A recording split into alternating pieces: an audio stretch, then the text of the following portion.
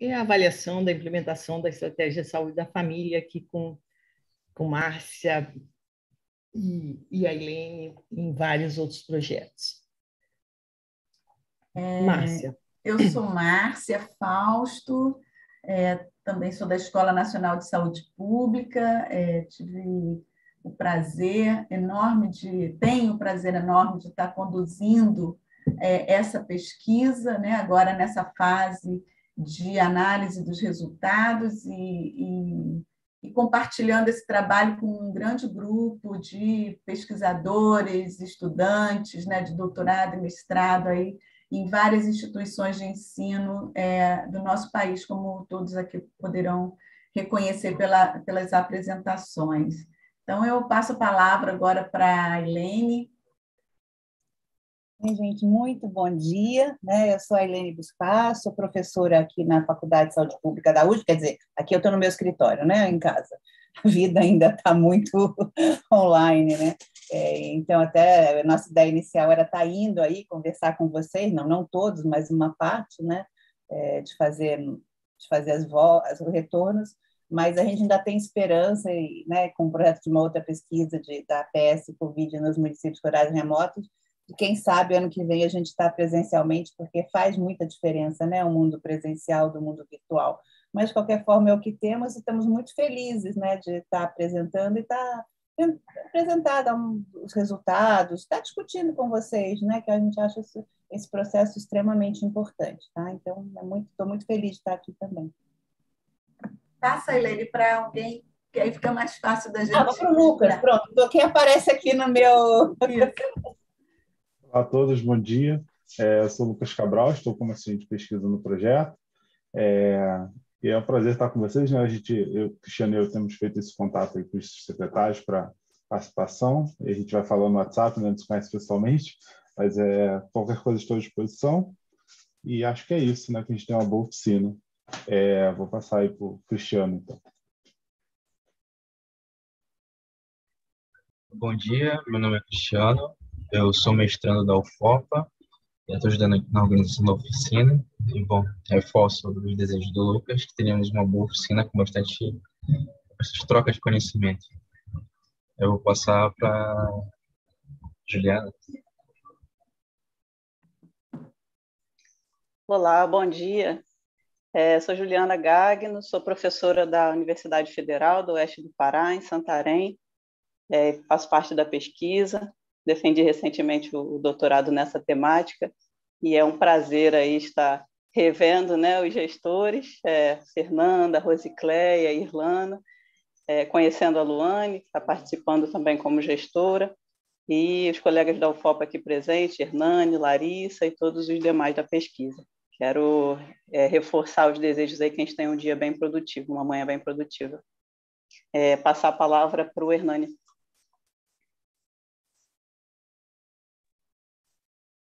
Olá, bom dia a todos.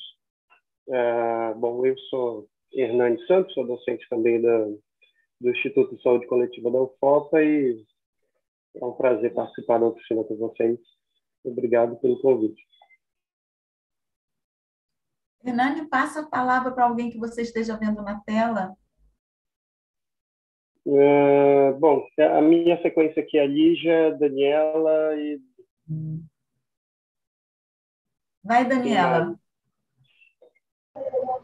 Bom dia, meu nome é Daniela Santiago, é, eu fiz mestrado com a professora Helene e estou participando dessa pesquisa a convite dela e da pesquisa de APS rural remota, Covid também. É, passo a palavra para a Ediale.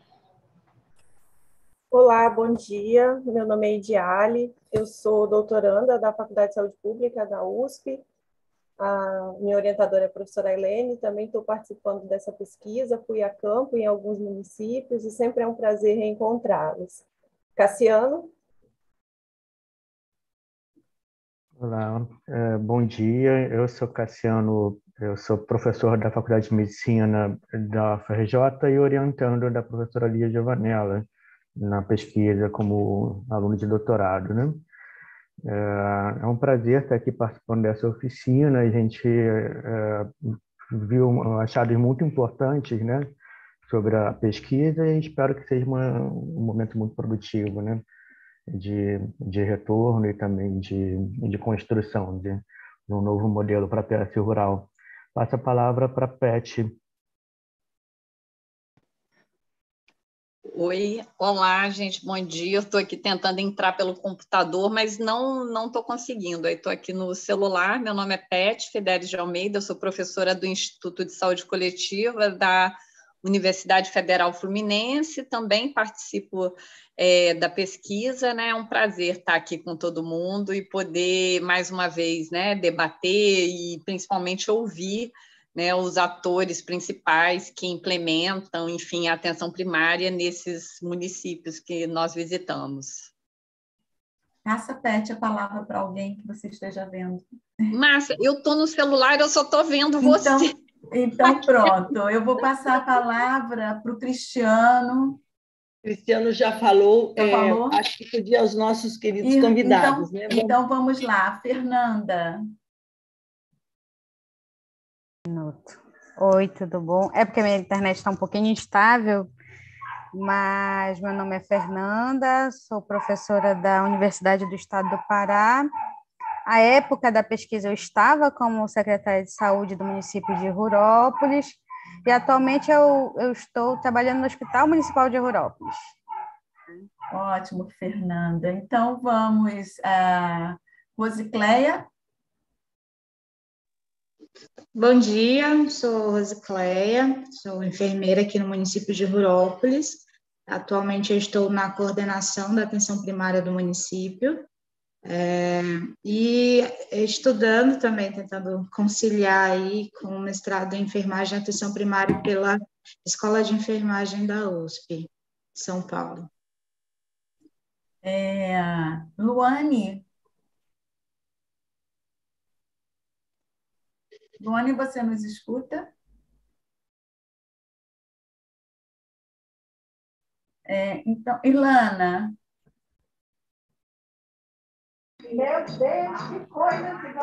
Olá, bom dia a todos.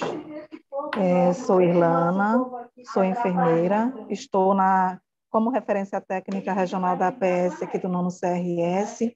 É um prazer participar desse momento de troca, né, de saberes, de experiências.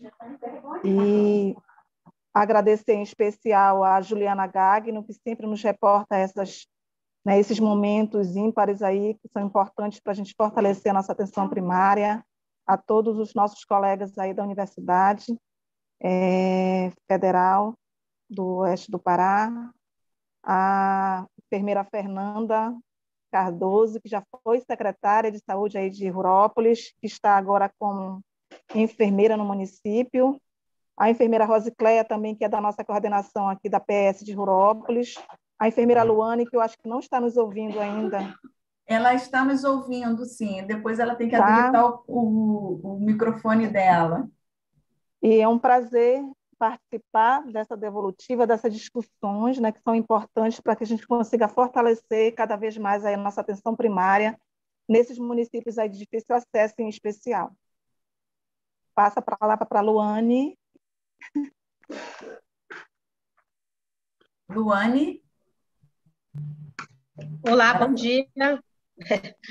Olá, bom dia. Sou enfermeira Luane, da atenção básica do município de Jacareacanga. Atualmente, né, é, um pouco período, somente seis meses de experiência, mas estamos aí para aprender um pouco mais. Na verdade, uma troca que a gente quer fazer aqui, né? Porque a experiência que vocês têm aí no, nos municípios também é, nos, nos, remete a novos conhecimentos, muitas vezes. É, eu acho que todos já falaram, não é? Larissa. Larissa, Larissa, claro. A, microfone, Larissa. Bom dia, bom dia a todos, a todas. É, meu nome é Larissa, eu sou mestranda em epidemiologia pela Universidade Federal de Pelotas e eu estou participando da pesquisa desde o início, né? E estou muito feliz de poder continuar participando dessas discussões aqui junto, em conjunto com os municípios. Né? Isso. É, falta ainda a Júlia de Assis Brasil, mas ela ainda não não está conectada conosco. Assim que ela entrar, então a gente faz uma apresentação dela é, em algum momento, tá bom? Eu acho que nós poderíamos é, iniciar a oficina. Eu, antes de mais nada, quero agradecer é, muito a, a vocês aí é, de Rurópolis, Jacareacanga e também Assis Brasil, a, a Irlana, que muito nos ajudou nesses contatos para que essa oficina é, pudesse acontecer. Assim, muito obrigada, eu sei que vocês têm uma agenda super é, tumultuada, ainda mais nos tempos que estamos vivendo, né, em, em plena pandemia, e a atenção primária tendo um papel tão importante aí é, no, no processo de vacinação de toda, toda a população brasileira. Então, eu quero agradecer muito a presença de vocês, a participação de vocês, e, enfim, dizer que a gente está muito feliz de, de poder compartilhar aqui alguns resultados é, do, do nosso estudo, é, resultados que a gente considera que, que tenha a, alguma importância né, para a gente pensar aí o fortalecimento da atenção primária, reconhecer aonde a gente pode avançar é, é, para enfrentar os desafios que estão, estão dados né, é, em cada município.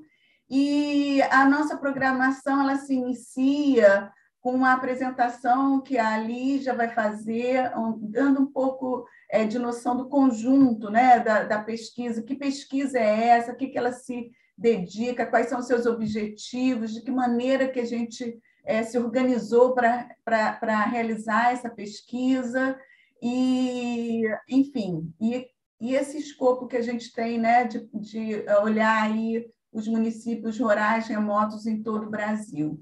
Na sequência, eu vou fazer a apresentação dos resultados específicos para a área Norte Estradas. E depois dessa apresentação, nós então vamos fazer uma conversa, né, um, uma conversa dialogada, é, tentando juntar aí os resultados da pesquisa com a experiência é, que vocês têm é, de organização da atenção primária em cada um dos municípios. E a partir da, de, desse diálogo, é, pensarmos né, os desafios que estão colocados para o fortalecimento da atenção primária é, nos municípios rurais remotos e, enfim, é, que possibilidades nós temos aí é, de alcançar uma atenção primária robusta, né, é, integral, porta de entrada é, principal para o sistema de saúde, é, com cuidado contínuo, coordenado é, e integrado na rede assistencial. É essa a ideia né, que nós temos para essa oficina, que começa agora e vai até meio-dia. E, enfim, eu acho que podemos começar. Lígia, a palavra está contigo.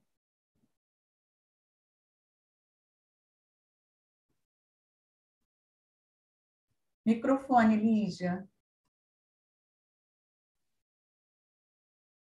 Bom dia a todas e a todos. Em primeiro lugar, Lígia, quero agradecer. Lígia, só um quero minutinho. Lígia, só um minutinho, desculpa. É que a Júnia entrou, a Júnia de Assis Brasil. Então, eu queria dar as boas-vindas à Júnia. Dizer que é um prazer enorme estar aqui contigo, viu, Júnia? Você poderia abrir a câmera e falar conosco rapidamente, para que a gente possa te conhecer?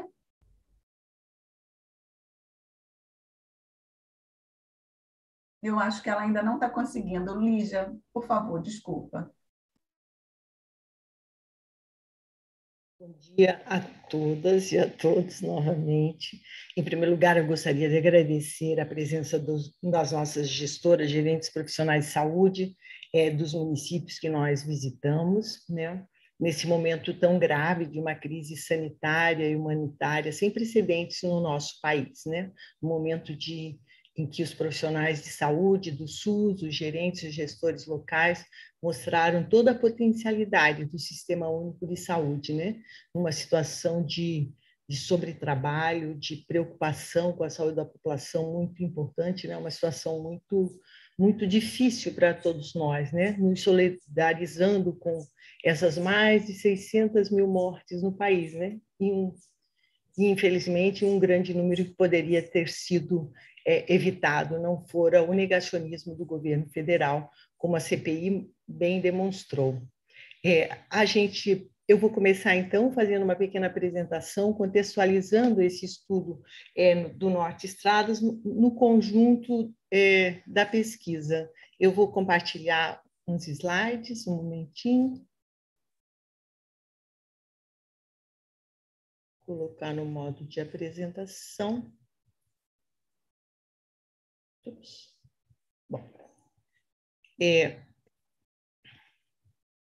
essa pesquisa, então, é, a partir da experiência da Escola Nacional de Saúde Pública, coordenado pela Márcia Fausto, né, é, na avaliação que realizou avaliação externa em nove municípios, em nove estados de todo o país do PIMAC, né, visitando muitos, muitas localidades, nós observamos é, os desafios adicionais para a implementação de atenção primária à saúde integral em municípios é, em áreas remotas. E foi a partir daí que nos mobilizamos para fazer essa, essa pesquisa, que teve uma parte de financiamento ainda de recursos do, do PIMAC, das, da avaliação externa, né, e financiamento também é, da Fiocruz.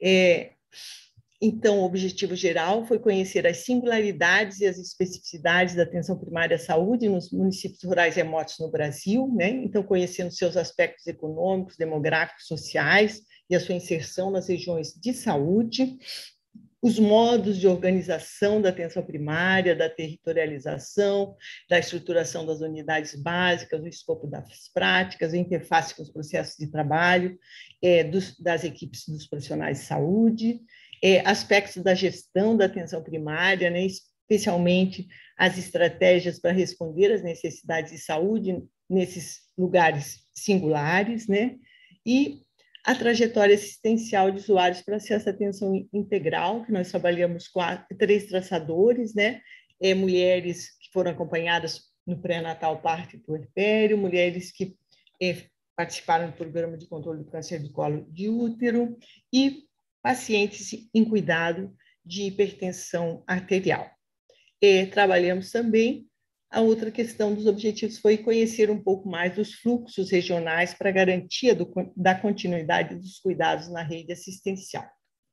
Em, em todo o mundo, se observam diferenças muito marcantes, né, importantes entre os espaços urbanos e os rurais, especialmente no acesso a bens e serviços pela população residente, com importantes desigualdades no acesso a serviços de saúde pelas populações rurais. Então, a gente pensa que essas especificidades geográficas, ambientais e culturais dessas regiões rurais e remotas não podem ser um obstáculo para a garantia dos direitos. Né? Elas devem ser a base para a análise e o planejamento de políticas públicas, especialmente em um país com dimensões continentais como o Brasil e marcado por um padrão de extremas desigualdades socioespaciais.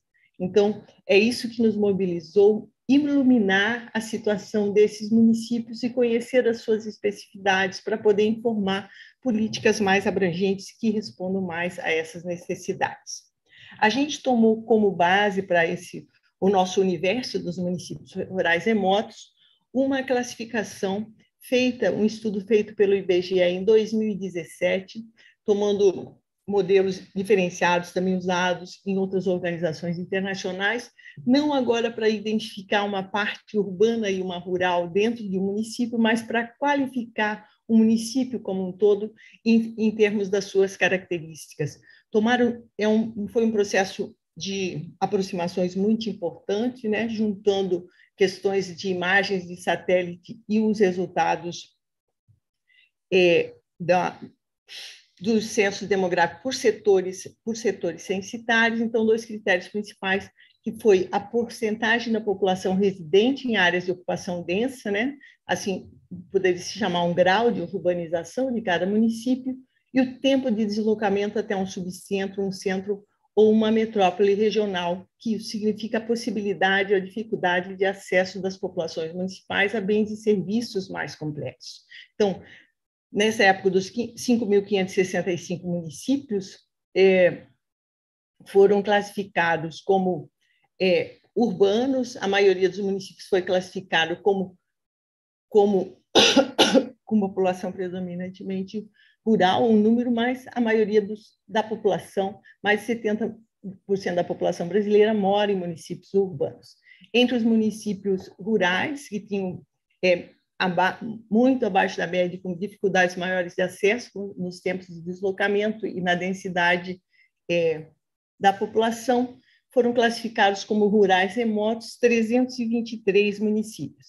Essa classificação do IBGE, a gente tem que ter claro que ela não foi feita para discutir questões de acesso ao serviço de saúde, ela foi posteriormente, inclusive, de nós termos já iniciado essa pesquisa, usada também para critérios do do, da nova forma de financiamento. Né? É, então, esses 323 municípios classificados como rurais, eles englobam 3 milhões e 800 mil pessoas no país. Né? E como que a gente, então, a gente se perguntou, mas serão esses municípios todos iguais? Em que será que eles são diferentes? Então, é, com o apoio da, a, é, da Helene professora da USP, e a partir dos estudos é, do Milton Santos e da professora Silveira, né, que propuseram uma divisão regional brasileira, identificando quatro Brasis, ao invés dessas nossas cinco grandes regiões, né? Então, chamou de região concentrada o Sul e o Sudeste, a região de ocupação periférica recente seria o Centro-Oeste, o Nordeste e a Amazônia, né? E os nossos municípios rurais remotos, então, esses 323 foram localizados no mapa segundo esses Brasis, identificando-se áreas com maior concentração desses municípios. Né? Em seguida, foram analisadas lógicas de inserção no circuito econômico, suas principais formas de interligação, o que fez com demais pontos dos territórios terrestres subfluviais, principalmente para essa parte da Amazônia, né? e foram trabalhados diversos dados, encontrando, então, recebendo, então, uma definição de, de seis áreas de pesquisa que nós trabalhamos. Né? Uma área, então, na Amazônia, o norte norte águas e o norte norte águas azulzinho, norte estradas o, o marronzinho, é, o vetor centro-oeste, é, a região do Mato Piba, que é uma região de novo agronegócio, o semiárido e o norte é, de Minas. E foi a partir, então, em cada uma dessas áreas, a gente escolheu é, alguns municípios para fazermos as visitas e fazermos nosso estudo, que é um estudo, basicamente, um estudo quali qualitativo. Né? Então, em cada uma dessas áreas, nós escolhemos dois ou mais municípios tipo, que sejam, que sejam próximo à média dos indicadores desses municípios, e um ou dois municípios que a gente considerou outliers, que se diferenciam para a gente conhecer a diversidade desses municípios. E assim, nós escolhemos, então, 27 municípios rurais remotos no conjunto dessas, dessas áreas, né?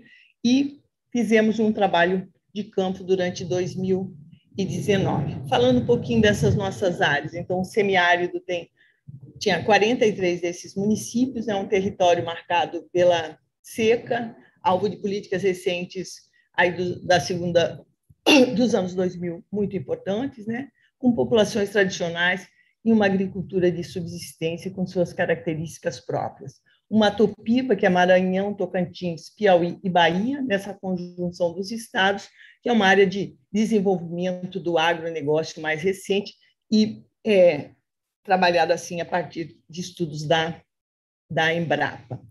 O norte de Minas, que tem características se aproximam do semiárido, mas que tem características é, diferenciais em termos de possibilidades de acesso por conta da própria é, infraestrutura de Minas Gerais, é, que também que, que, agrega aí também é, municípios do Vale do Jequitinhonha, né? Uma, como nas palavras do Milton Santos, é uma das mais importantes zonas opacas da região concentrária. Então, esses são os únicos municípios é, na região é, sudeste. O vetor centro-oeste, né, que é um território de herança técnica rarefeita, que absorveu o novo numa rede de cidades que se assenta sobre a moderna produção agrícola, né, da, no circuito da agricultura globalizada, então que tem uma densidade de mecanização agrícola das mais importantes do país, que tem as suas características, então, também diferenciadas, e que tem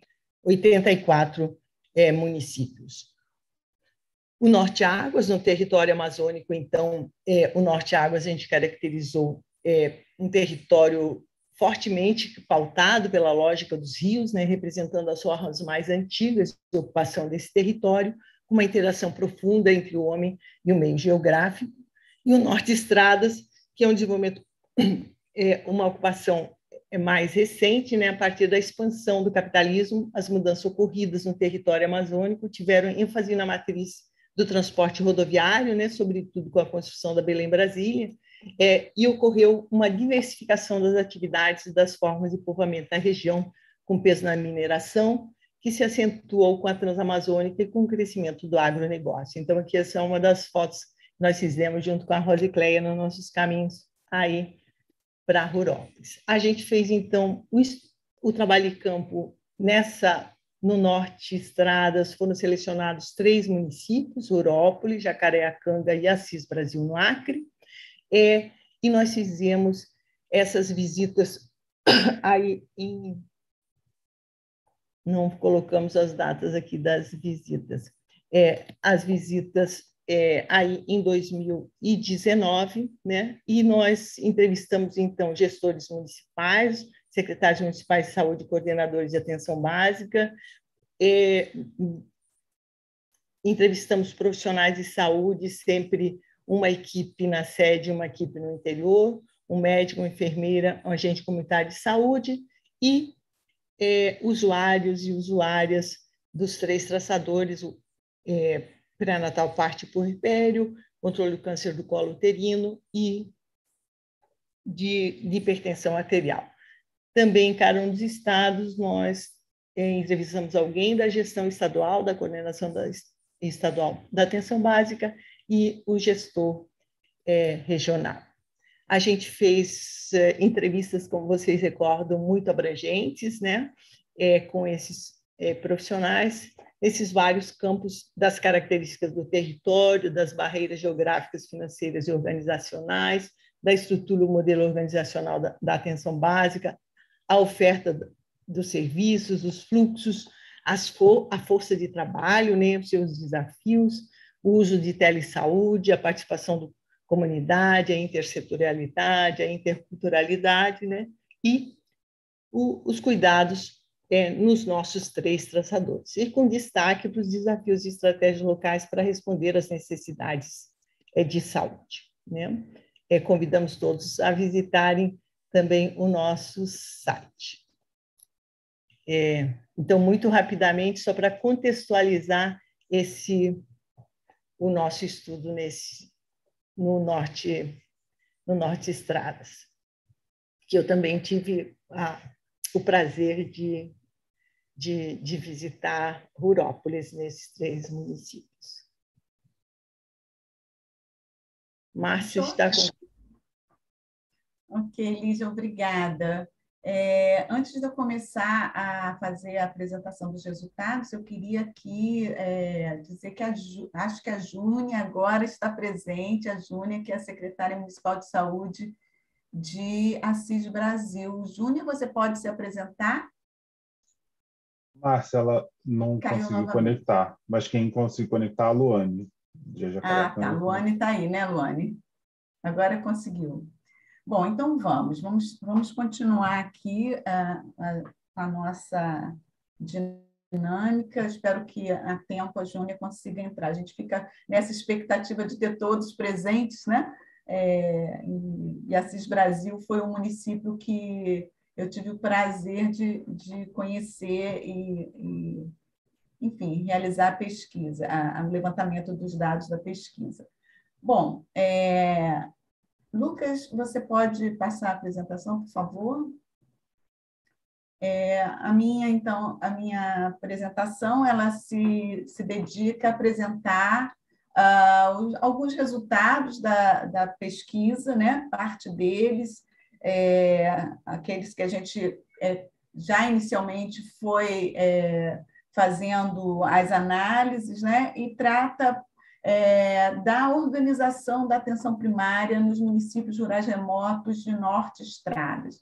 Então, os municípios, como a Lígia é, já apresentou, é o município de Rurópolis, Jacareacanga e Assis Brasil, que fazem parte aí é, desse estudo, entre os demais, que são 28 municípios rurais remotos nessa área.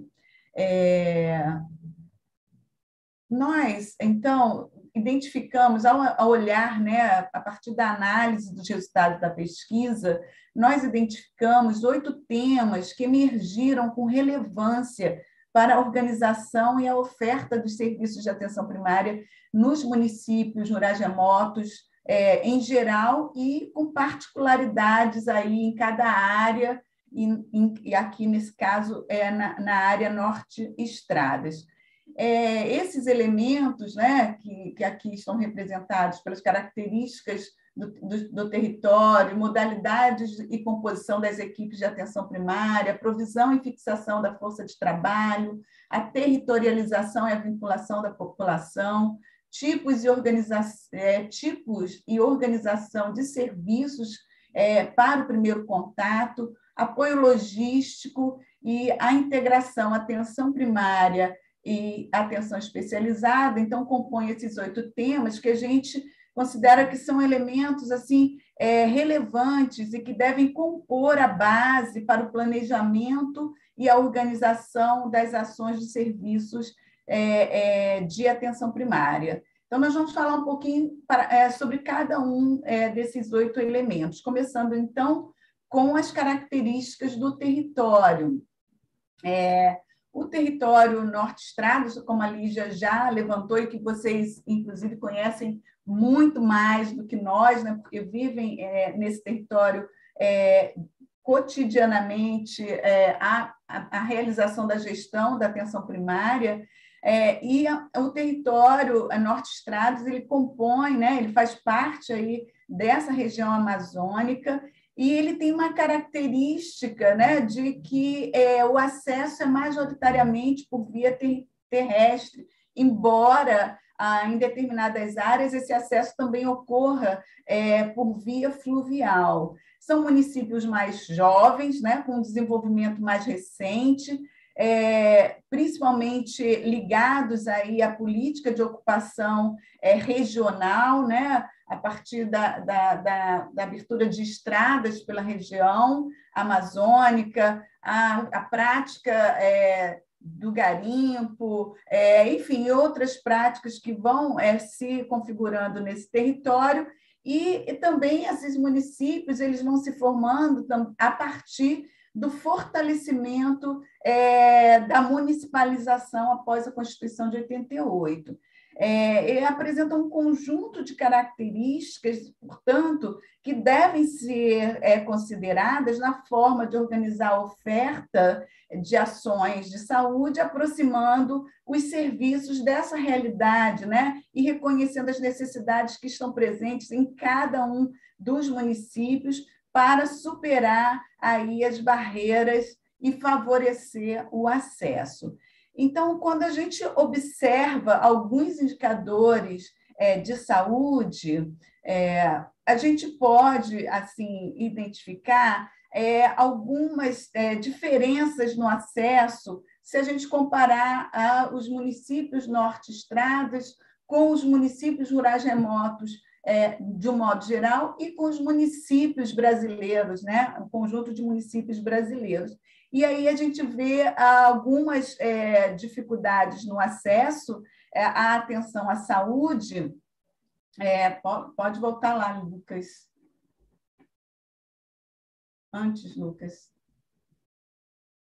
Bom, é, alguns indicadores é, que já apontam é, essa, essas dificuldades de acesso, mas também a, a importância que tem o SUS nos municípios rurais remotos, né? dado que a, a, a, a, quase que exclusivo, a exclusividade é, do SUS como fonte é, de acesso à atenção à saúde. E uh, também a, a, a, cobertura da atenção primária né? mais ampla e uh, o o que faz né, a gente pensar que os serviços de atenção primária têm um papel fundamental é, para favorecer o acesso é, nos municípios rurais remotos. E é sobre isso que nós queremos dialogar com vocês, né?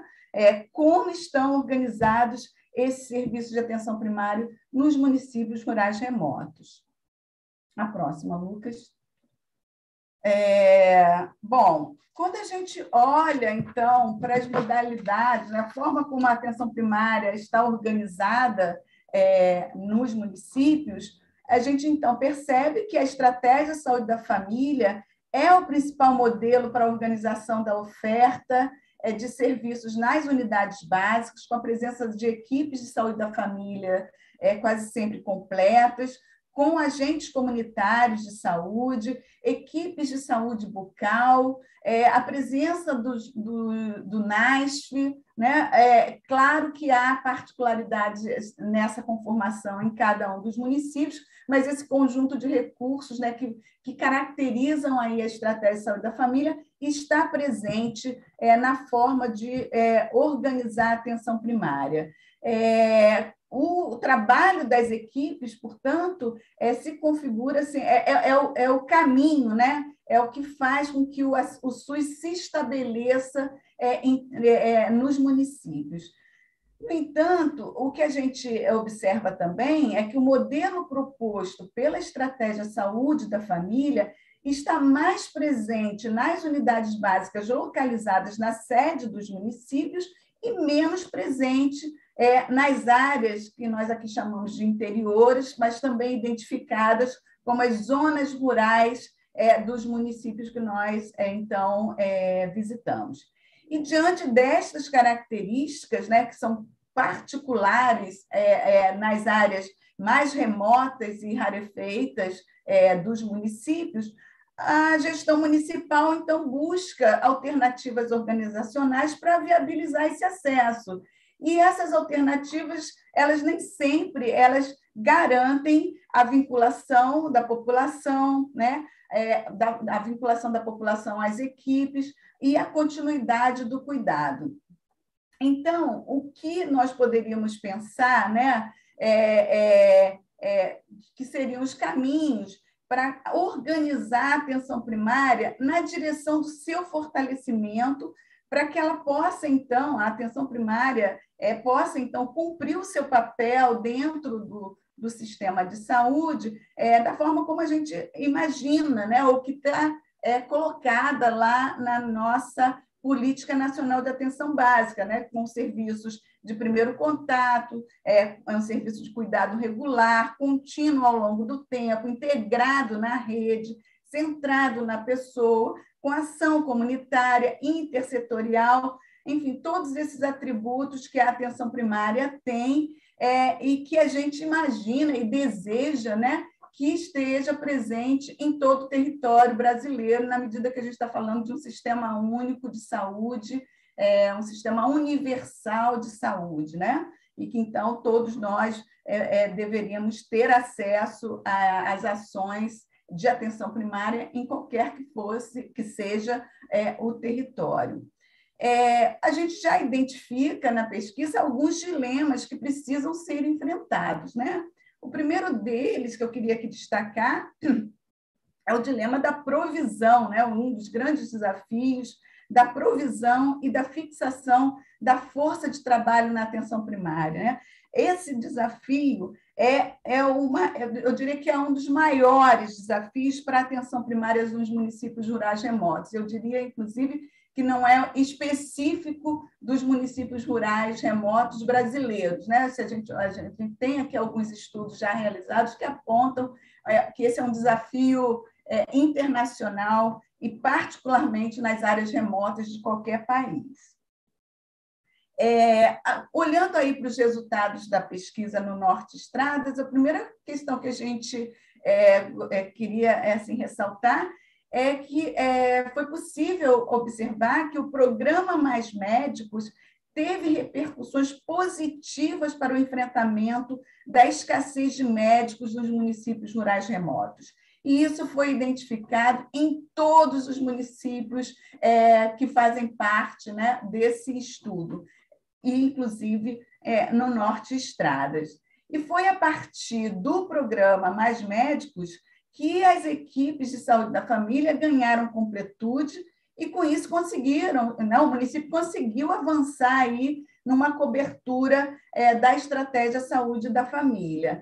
A gente viu também, é, no período que nós fomos, que a, as mudanças ocorridas no programa Mais Médicos, naquele período, né, no, no ano de 18, 19, principalmente 19, é, já tinha algumas consequências aí para a atenção primária, né? na medida em que aumentou a rotatividade desses profissionais. É, é, com a saída dos médicos cubanos e a entrada dos médicos brasileiros que chegam aos municípios, mas ao mesmo tempo é, ficam menos tempo e, e com isso é, há uma lacuna, né? Um tempo em que essas equipes ficam descobertas. Nós chegamos a, a ver alguns, alguns casos nesse sentido. É, e, mas assim, é, eu queria ressaltar também que, embora o programa é, Mais Médicos é, tenha, de fato, é, é, ampliado a possibilidade né, de completude das equipes, de ampliação da cobertura da estratégia de saúde da família, isso não ocorreu de forma homogênea dentro do território. A gente identificou que é, o, nas áreas mais remotas ainda né, é, se mantinha é, o problema é, dos limites de cobertura é, como parte do problema da escassez dos, dos profissionais é, nas áreas mais remotas dos municípios. E, é, e isso tem consequências, né? Tem consequências que se revelaram na indisponibilidade, na restrição de serviços e ações de saúde, na alta rotatividade dos profissionais e na descontinuidade assistencial. É, diante dessa dificuldade né, da provisão, principalmente do profissional médico, nós identificamos também que o, o, o, enfermeiro, o profissional de enfermagem, tem um protagonismo, né? tem um protagonismo na, na, na atenção primária, na organização da atenção primária, e na ausência do médico, esse protagonismo ele, ele se torna maior ainda, porque é esse profissional que vai segurar aí é, uma série de atividades que, é, em tese, seriam compartilhadas com o profissional médico.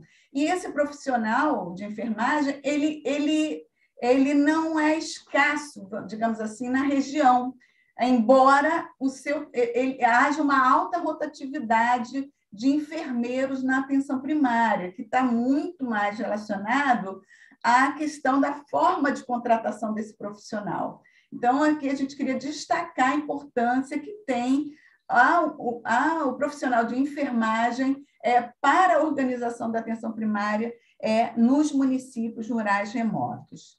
A próxima, Lucas, por favor. A outra questão né, dos nossos temas que a gente queria é, aqui é, tratar um, um pouquinho mais de detalhe é a questão da territorialização e a vinculação da população. É, o que, que nos chamou a atenção? Né? Que a, a, territorialização e a descrição da população, conforme os critérios estabelecidos lá na PNAB, eles, de alguma forma, são conflitantes com, a, com a, a, as características é, do território, né, especificamente, particularmente em relação à dispersão territorial, né, e os distintos modos de ocupação desse território. É, então, assim, a gente tem é, que, é, assim, que diante das características das áreas é, rurais, é, principalmente as áreas mais remotas, é, onde você tem pequenos povoados e um vasto território, os serviços de atenção primária eles estão menos disponíveis nessas áreas mais distantes e rarefeitas, o que então é, requer um modo diferenciado de vinculação da população à equipe. E a, a gente pôde perceber isso é, com, com, mais clareza ao observar, então, por, a, a vinculação é, da população, por exemplo, aos ACS que atuam nas áreas dos interiores. É, e essa é uma discussão que me parece muito importante se a gente pensar os caminhos da política hoje, né? pensando que o cadastramento é hoje um, um o cadastramento da, da, da população tem um peso importante, desculpa, tem um peso importante hoje dentro da, da, do Previne Brasil. E aí os desafios para o cadastramento e acompanhamento dessa população, é, me parece que é algo que a gente precisa pensar é, em como fortalecer aí é, essa, essa ação, né? É, no sentido de garantir não só o cadastramento, mas o acompanhamento dessa população. É, Uh, diante é, destas características né, que a gente aqui acaba de mencionar, das áreas é, mais rurais, é, a gente então percebe que, e isso eu já até falei um pouquinho antes, que a, a gestão municipal e também os profissionais de saúde vão criando alternativas organizacionais é, por dentro da estratégia saúde da família. E essas, essas alternativas elas vão assumindo é, variadas e conjugadas formas de organização. Então, parece que havia aí uma certa disjunção, um certo distanciamento né, entre as características do território e as políticas de APS, e isso se, é, se, se é, exacerba, né, digamos assim, quando a gente olha para a questão da territorialização e a descrição. E aí, olhando especificamente para esse, esses modos de organização é, é, dos serviços de primeiro contato, que a gente já falou que são variados e conjugados formatos que a gente identificou, é, o que a gente encontrou, então, né, nos, nos, nos municípios é, é visitados? Há uma concentração de unidades básicas na sede municipal. Né? Esse é um caminho muito percorrido é, pelo, pela gestão municipal, no sentido de enfrentar essas dificuldades de cobertura, né? de chegar e ter as equipes nas áreas mais rarefeitas é, do município. E outra, outra alternativa que é, foi encontrada é que todas as unidades básicas, sejam elas da sede ou das áreas rurais, ela, elas atendem espontaneamente os usuários residentes nas áreas mais afastadas. Essa é uma outra alternativa é muito, muito utilizada nos municípios. E nem sempre é, faz esse atendimento, né? Sem necessariamente que essa população esteja vinculada à unidade. E há também uma menor rigidez em relação aos horários e dias de atendimentos programados, quando se trata dessa população que desloca de áreas onde não, não, não está presente um serviço, não uma unidade básica de saúde. É, e a gente observa, portanto, que na sede predomina o modelo da estratégia de saúde da família, conforme preconizada lá na PNAB.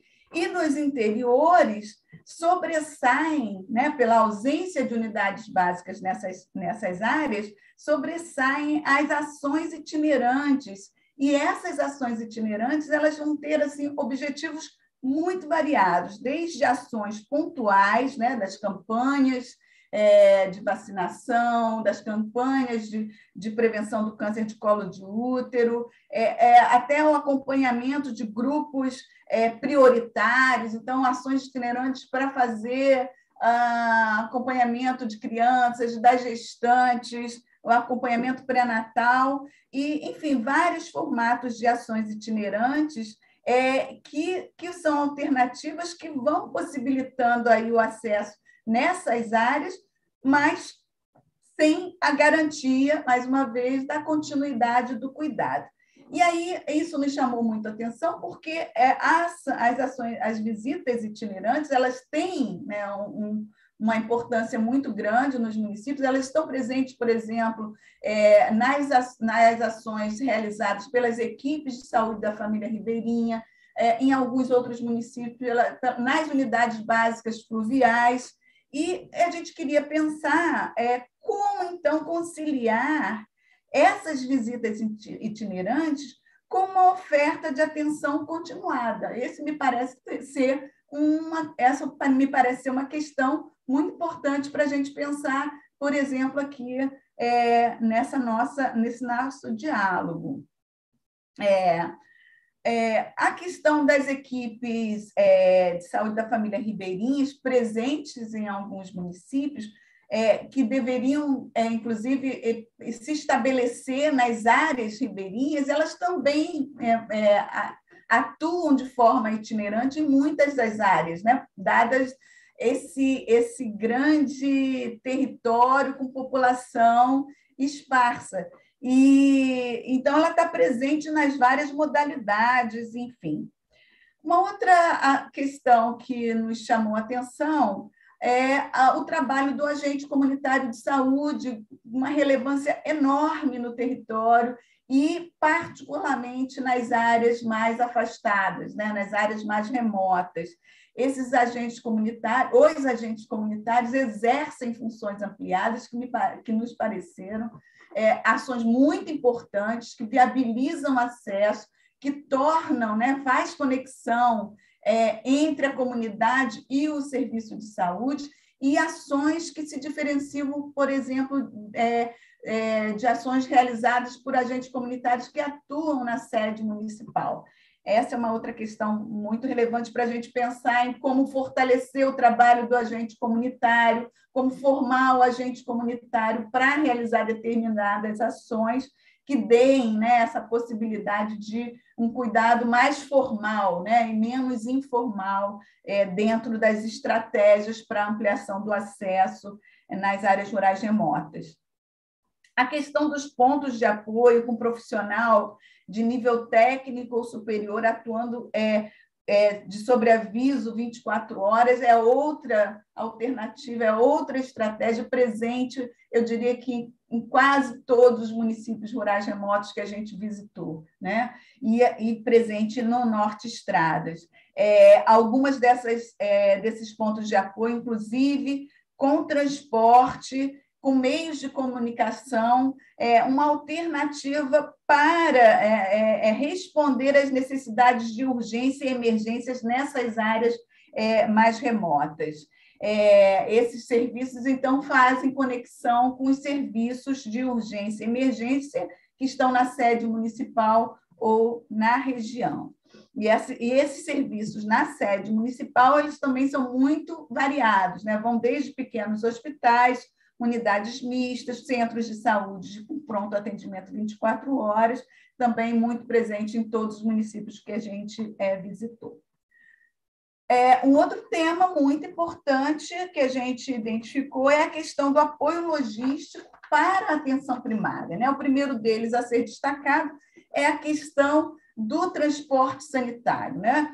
É, nós verificamos que a disponibilidade de transporte sanitário para as equipes de saúde da família mostrou-se decisivo para o provimento da atenção primária. Então, a transporte é, para que as equipes cheguem às áreas rurais, né, sejam eles fluviais ou terrestres, transportes para os agentes comunitários em sua uma área é, extensa, né, e com população é, bem esparsa, é um, é um, um, um recurso é, que mobiliza os gestores municipais é, permanentemente e faz uma diferença enorme no sentido de é, viabilizar aí o contato das equipes com as populações. É, o que se observa, é, no entanto, é que o transporte sanitário, embora ele tenha um protagonismo na forma de conduzir aí o, o, a gestão municipal e de estruturar a organização da atenção primária, é, são frágeis os aportes financeiros do, dos governos, né, estadual e federal, nesse sentido. E toda essa carga, sobrecarga financeira, indiscutivelmente fica na mão dos municípios. E isso, então, me, me, mobiliza demais a gestão municipal. É preciso pensar em políticas mais amplas nesse sentido. É, uma outra questão é, a ser destacada é a questão das casas de apoio. Né?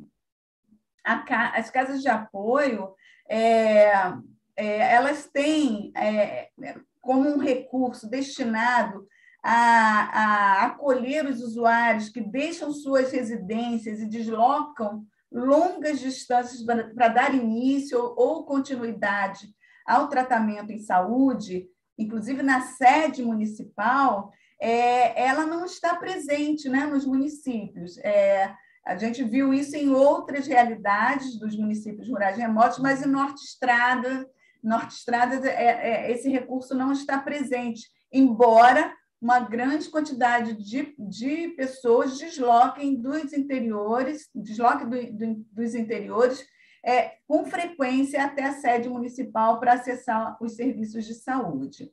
É, esse recurso ele está mais disponível na região e na capital é, para o acesso à atenção especializada fora do domicílio, com suporte financeiro da Secretaria Municipal ou da Secretaria Estadual de Saúde. Um outro é, elemento aí de apoio logístico é a questão do uso de tecnologias de informação e comunicação. É, o uso de, das, dessas ferramentas que a gente chama de TIC, né, é, é pouco desenvolvido nos municípios rurais remotos, embora se reconheça o seu potencial para ampliar a capacidade resolutiva da atenção primária. Né?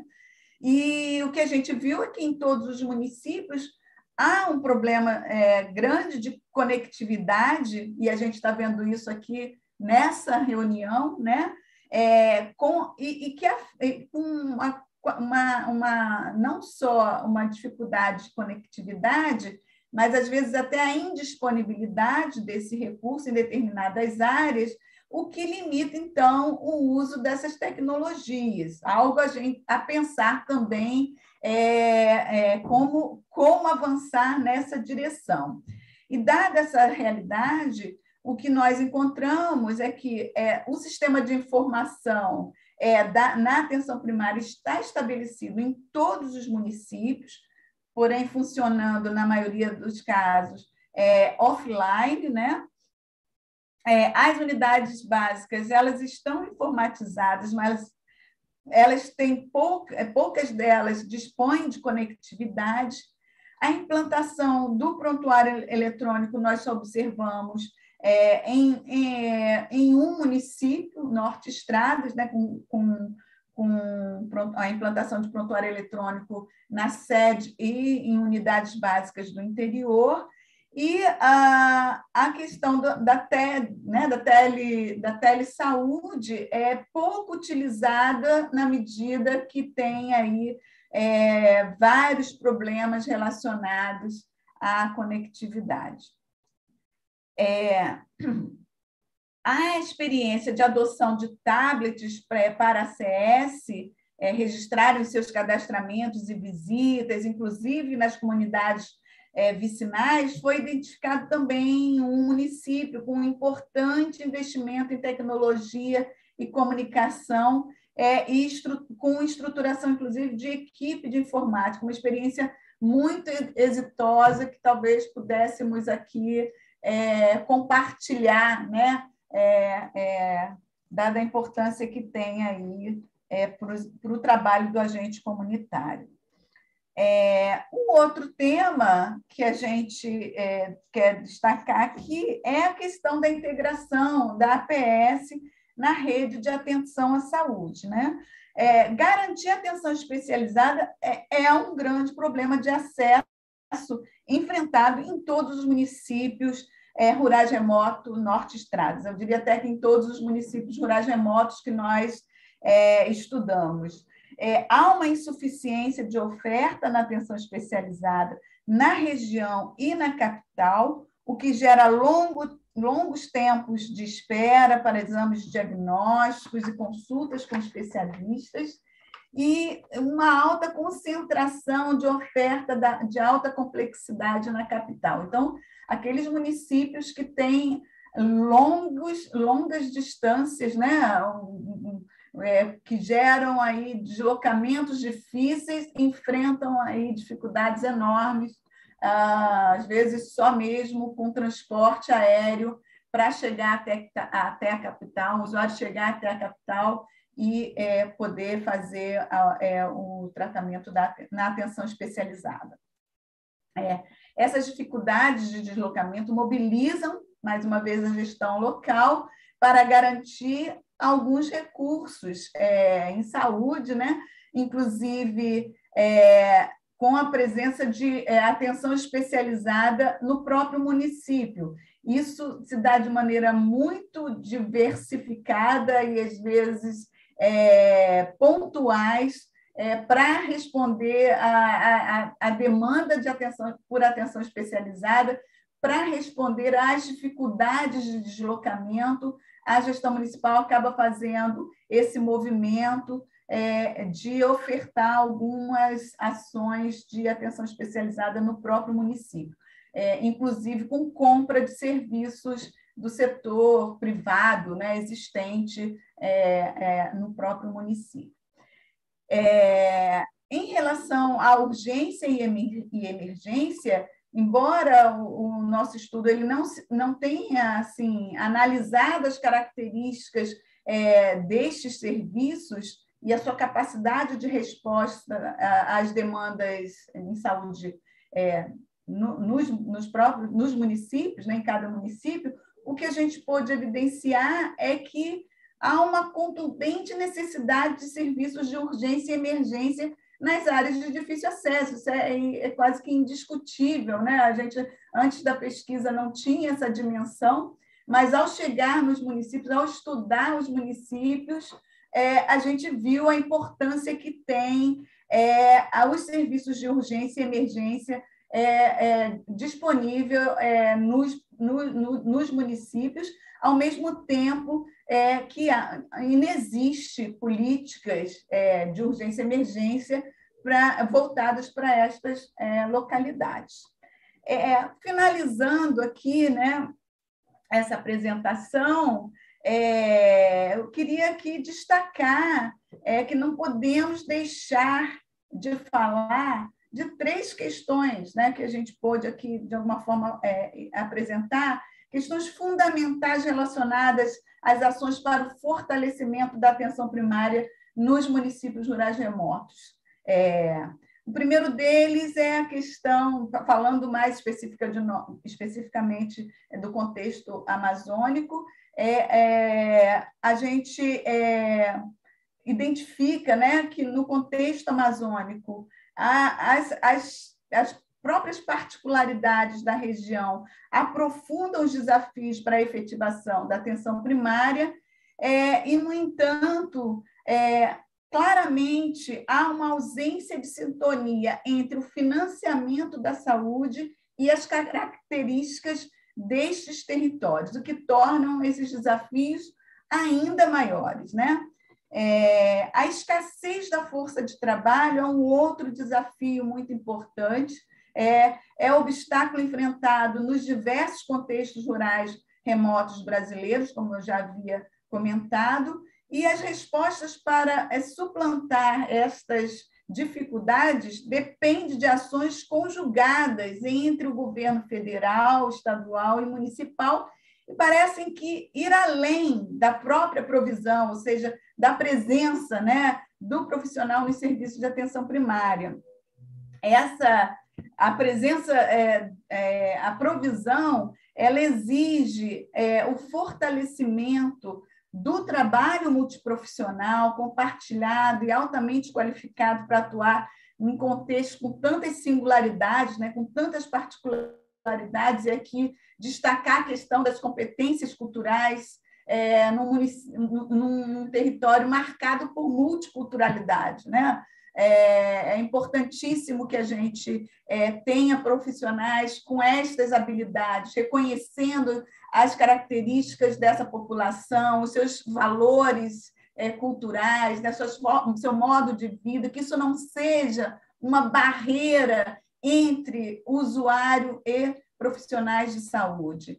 É, essa, a questão da, da provisão é, é, de profissionais de saúde nos municípios rurais remotos também requer, a gente considera né, importante, é, estratégias é, baseadas em recursos de tecnologia de informação é, e comunicação, que, são, que são, possibilitam soluções remotas né, para ampliar os recursos e promover os cuidados oportunos, resolutivos e de qualidades nas áreas de maior, de maior difícil, de mais difícil acesso. É, são questões que a gente pode pensar, embora não estejam dadas, né? eu acho que a gente pode pensar sobre isso, propor algo é, a, é, a esse respeito. E, por último, é, avançar no fortalecimento da atenção primária é fundamental, fundamental para o enfrentamento é, de falhas de acesso relacionadas à saúde, mas que também é, é, tem a ver, né, essa, essas questões do, da, das falhas de acesso à saúde são determinadas pela insuficiência de políticas públicas mais amplas, que a gente precisa é, pensar né, nessa direção, é, dada, dada aí é, as especificidades é, dos territórios é, rurais remotos, a questão do, da, de transporte, comunicação, a questão do saneamento básico, enfim, vários elementos que vão além da saúde, mas que também é, se refletem é, nas falhas de acesso à atenção à saúde. E, nesse sentido, é, nós consideramos crucial aprofundar esse debate, né? aprofundar debates é, e proposições sobre a implementação de políticas de atenção primária é, baseadas nas particularidades dos territórios norte-estradas, né? porque é, os serviços de saúde eles devem ser projetados para refletir melhor as realidades das populações às quais é, esses serviços atendem. Então, é esse o convite é, que nós aqui queremos fazer. Obrigada, e desculpa se eu falei demais, mas é, me empolgo bastante ao olhar para esses resultados e, enfim, e estabelecer, né? E aqui a gente está nessa tentativa de restabelecer esses diálogos iniciados lá no momento da pesquisa em 2019. Gente, muito obrigada. E agora é, nós queremos ouvir vocês, né? Nós queremos ouvir vocês a respeito desses resultados, a respeito é, das experiências que vocês é, têm nos municípios é, de vocês. É, enfim, quem poderia abrir essa conversa? Professora, eu posso, porque eu tenho Ótimo, que Fernanda. sair um pouquinho antes, né? Que eu tenho um compromisso no hospital. Sim, Fernanda. É, é, eu fico muito feliz com os resultados da pesquisa. Na verdade, ela vem assim escancarar uma coisa que a gente vem lutando e brigando há muito tempo, não é de agora. É, em vários espaços, enquanto estive como gestora, que eu fiquei como gestora até em abril desse ano. E no momento, eu esqueci de falar na apresentação também, no momento eu estou atuando como apoiadora do COSEMES Pará, na região do Tapajós, né? Então, é, estou no outro lado, né, do, do, do apoio, assessoria às secretarias municipais de saúde da região do Tapajós. E nesses tanto nesse momento, como gestora, como apoiadora, a gente participa de vários debates e uns, alguns deles, assim, direto com o Ministério. E numa situação que eu achei muito bacana falar sobre a nossa é, realidade, é, sobre os sobreavisos na zona rural, a dificuldade que a gente tem com a zona rural, isso daí é uma ferida aberta nossa mesmo, a gente não consegue fixar profissionais é, na zona rural, é, principalmente médico, né?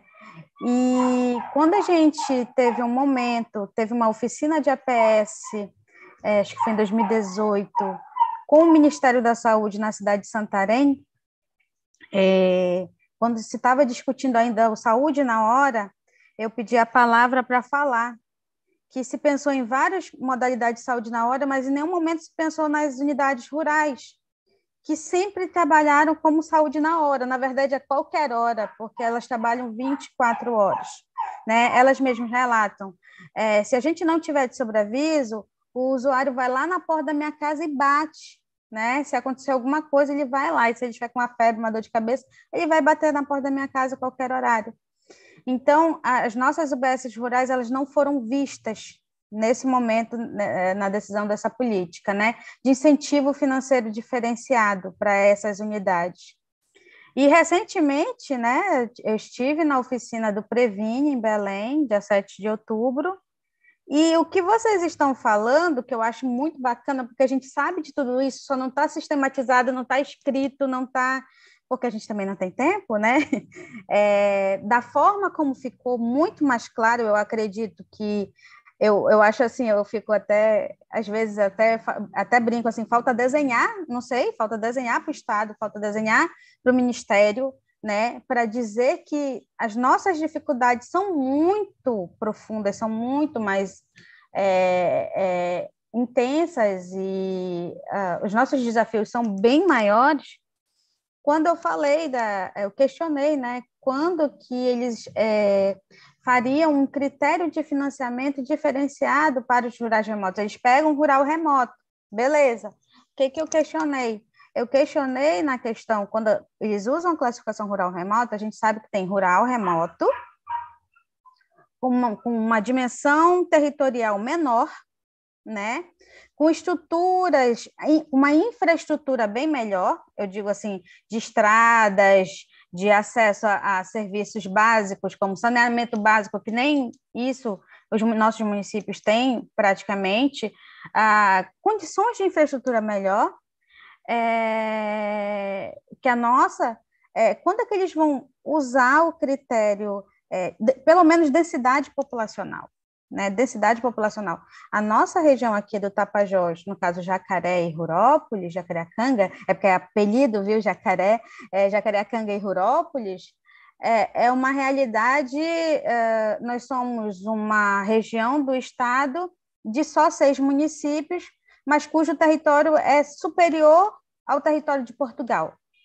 Então, é, é continental, as nossas distâncias são muito grandes né? Então, a nossa densidade aqui é 2 habitantes por quilômetro quadrado. E quando veio a, a, Covid, quando veio a vacinação da Covid, que eles foram enviando doses, é, como é que eu posso dizer, terapêuticas de vacina, né? Que a gente teve que ir nesses territórios diversas vezes. Aí eu coloquei para o Ministério: olha o custo com logística para a gente fazer uma campanha de vacinação como essa. Né? Então, a resposta do Ministério, aí é que eu fiquei mais é, entristecida, porque a resposta do Ministério foi, do representante do Ministério. Então, tipo assim, você vai lá, faz o estudo e propõe para o Ministério qual vai ser a solução para esse problema. Eu disse, eu que tenho que dar resolução para o problema, eu estou expondo o problema, o Ministério tem que buscar uma resposta para esse nosso problema, né? Então, assim, quando a gente fala assim, até a questão do próprio financiamento do ACS, né? A gente precisa diferenciar, talvez, o financiamento do ACS entre o ACS da zona rural e o ACS da zona urbana. O ACS da zona urbana consegue fazer sua visita a pé. O ACS da zona rural tem acesso nosso que, para visitar o último morador, ele tem que andar 40 quilômetros, 20 de ida, 20 de volta, numa estrada vicinal sem condições. Né? Então, a gente sempre recebe foto do, dos nossos acessos é, no verão, que a gente fala, né, no, no inverno amazônico, quer dizer, né, atolados, empurrando, usando seus próprios veículos, porque com o atual financiamento a gente não tem como dar veículo para cada ACS. Então, assim, é muito difícil. Como a própria pesquisa revelou, o ACS ele é essencial, ele é nossa, se não fosse a, a, estratégia de acesso nos nossos municípios, nós não teríamos como ter por exemplo, nesse momento de pandemia, conseguir identificar os indivíduos que possivelmente estivessem doentes, ou os indivíduos que precisavam de vacina mais urgentemente, quem são os vulneráveis, quem não são. Então, assim, eles são a base da nossa, eles são a base da nossa atenção primária, eles são a, porta de entrada, eh, a gente discute na APS, ah, qual é a principal porta de entrada? A APS não é a nossa principal porta de entrada, eu já participei em várias discussões nesse sentido. Ah, porque o usuário ele pode entrar pela UPA, ele pode entrar pela, pelo hospital, ele pode entrar, mas no nosso território ele entra pela APS. No nosso território ele entra basicamente pelo ACS, né? Algumas pessoas vão diretamente ao UBS, né? Mas é, 90, eu posso dizer 98% é pela APS, né? E também uma, uma característica do nosso território é não tem saúde privada. Quem é que quer vir para o município pobre? Não tem recurso, o médico não quer vir, porque se o médico vier para o município de Rurópolis, ele não tem possibilidade de ganhar plantão em outro hospital, ou ganhar com consulta particular numa clínica. Então, assim, é muito difícil para a gente fixar profissional médico, é, melhorar serviços assim, porque a gente precisa de infraestruturas e como o nosso custo, eu sempre digo que quanto mais distante é, a, o nosso custo ele é inversamente proporcional, né? aquela lógica da compra de pela internet, né, frete grátis para todo o Brasil, exceto para o norte, né? É, a mesma lógica é, existe na nossa questão para conseguir recursos humanos e insumos, né? Os nossos medicamentos chegam super caro por causa do frete, segundo eles, né? Por causa do frete, nossos, nossas seringas, nossas luvas, tudo chega muito caro. Então, para a gente é tudo muito caro.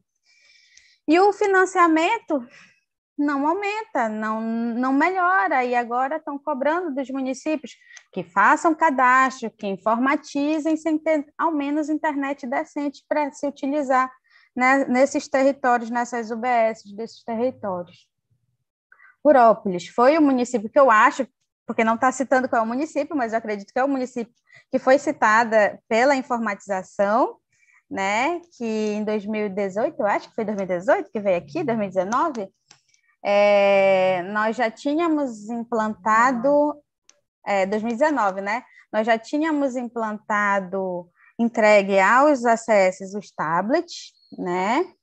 E também já tínhamos implantado os equipamentos uh, nas UBS, informatizamos as UBS. Eu digo assim, a duras penas, né? Porque a gente primeiro, é, é, por onde nós vamos começar, né? A, a, ideia é a seguinte: por onde nós vamos começar? São tantas as necessidades é, numa UBS, quando você entra numa gestão, desde adquirir é, equipamentos novos, tipo maca, coisa mais básica, é, macas, é, mesas, cadeiras, até você conseguir fazer primeiro isso, para depois você partir para a informatização, é uma dificuldade muito grande.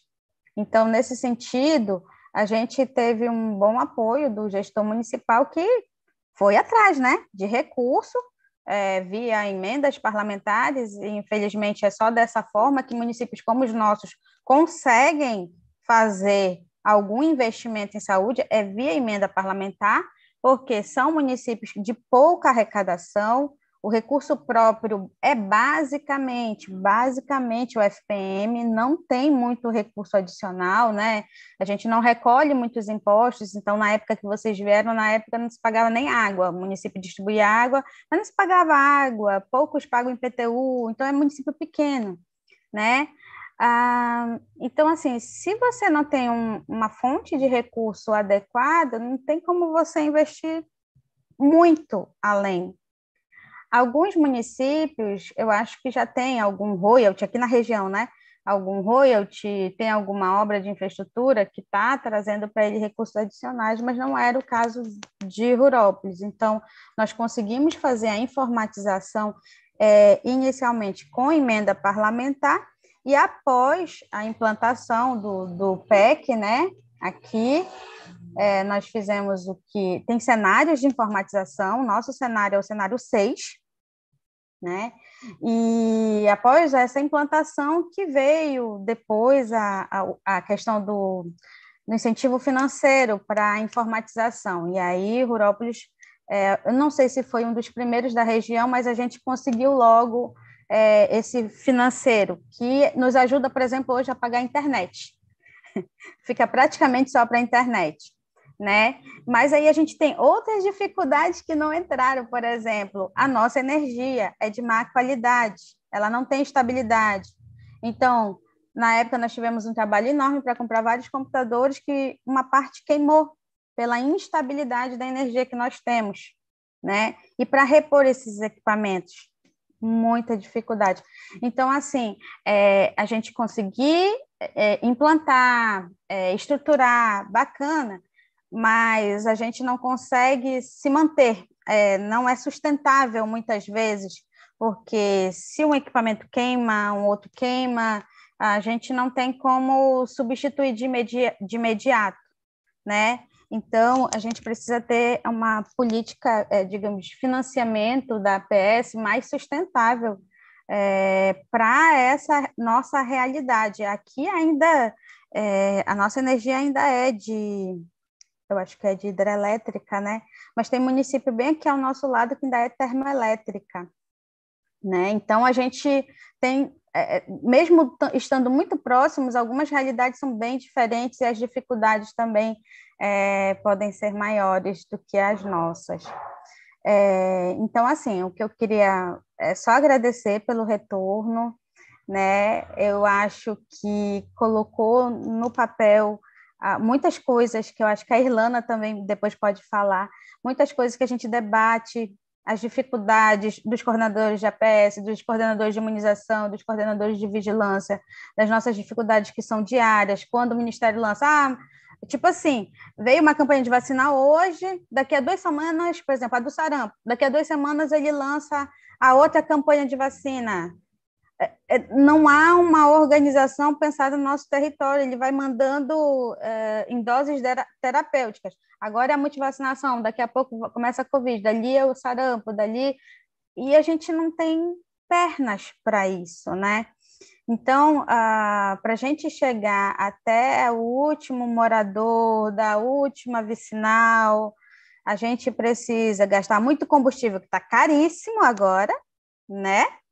Caríssimo, muito combustível, os nossos, por exemplo, a gente não consegue renovar a frota se não for por emenda parlamentar, a gente não consegue pagar o combustível, ou seja, o combustível às vezes está, a gente está gastando mais com combustível do que com alguns profissionais de saúde, por exemplo, energia elétrica muito cara no estado do Pará, muito cara.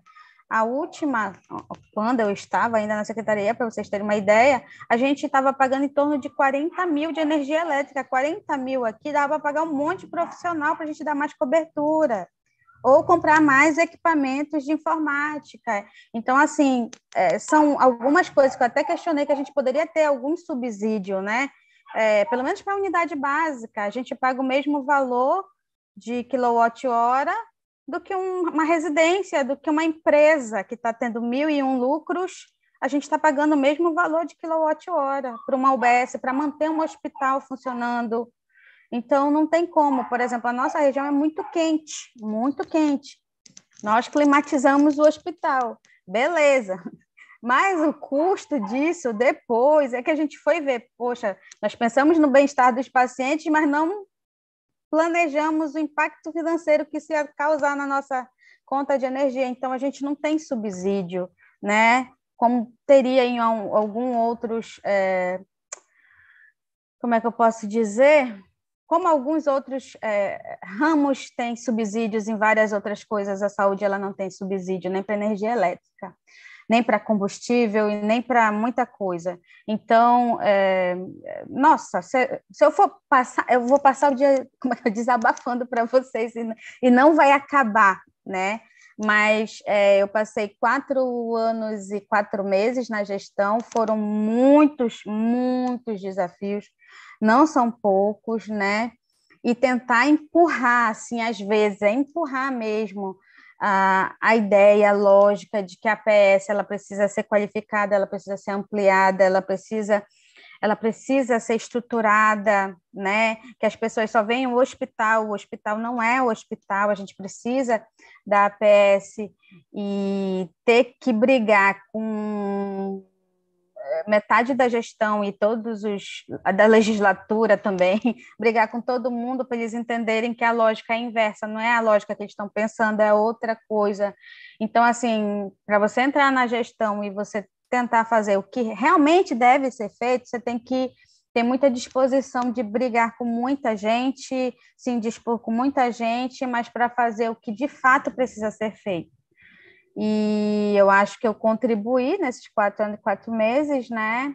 Uh, para uma melhora, para uma melhora, mas eu acho que tem outras pessoas que podem vir aí contribuir um pouco mais e eu acho que a minha parcela de contribuição foi dada. Obrigada. Ótimo, Fernanda. Você tocou, tocou em questões assim que nos mobilizam permanentemente a olhar os resultados do, do estudo. Eu queria só aqui destacar que a, a Francisca, me parece que ela está no grupo, né? A secretária municipal de saúde de Rurópolis. É isso? A Cristiana acabou de colocar aqui no chat. Francisca, seja muito bem-vinda. É, queria continuar, gente. Vamos, vamos. É, a palavra está com vocês. Doutora Márcia, Irlana. Sim, Irlana, fique à vontade.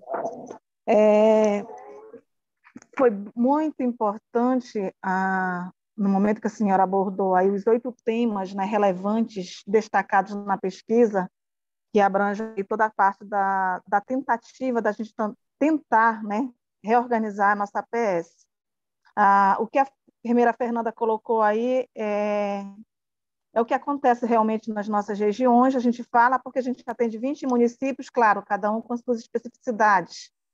Mas em se tratando aí de rural remoto, a gente ainda vê algumas dificuldades em relação a tudo que foi falado mas em relação, quando a gente faz monitoramento da atenção primária à saúde, a gente percebe que ainda falta é, a questão da integração entre as equipes.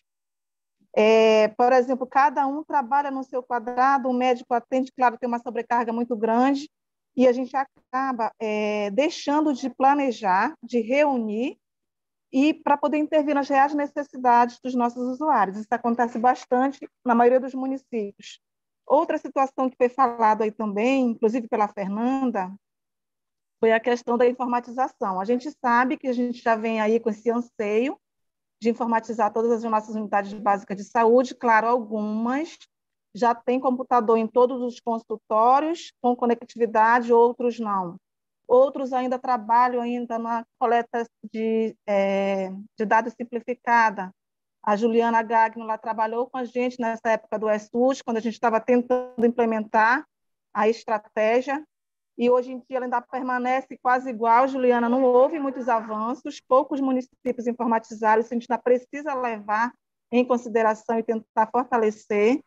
A situação aí da fixação dos mais médicos, a gente sabe que houve agora uma, uma fragilidade muito grande quando eles saíram, né, principalmente os estrangeiros, e retornaram para os seus, seus países aí, e vieram agora os brasileiros. A gente sabe que nem todos os brasileiros têm esse mesmo perfil que o médico estrangeiro.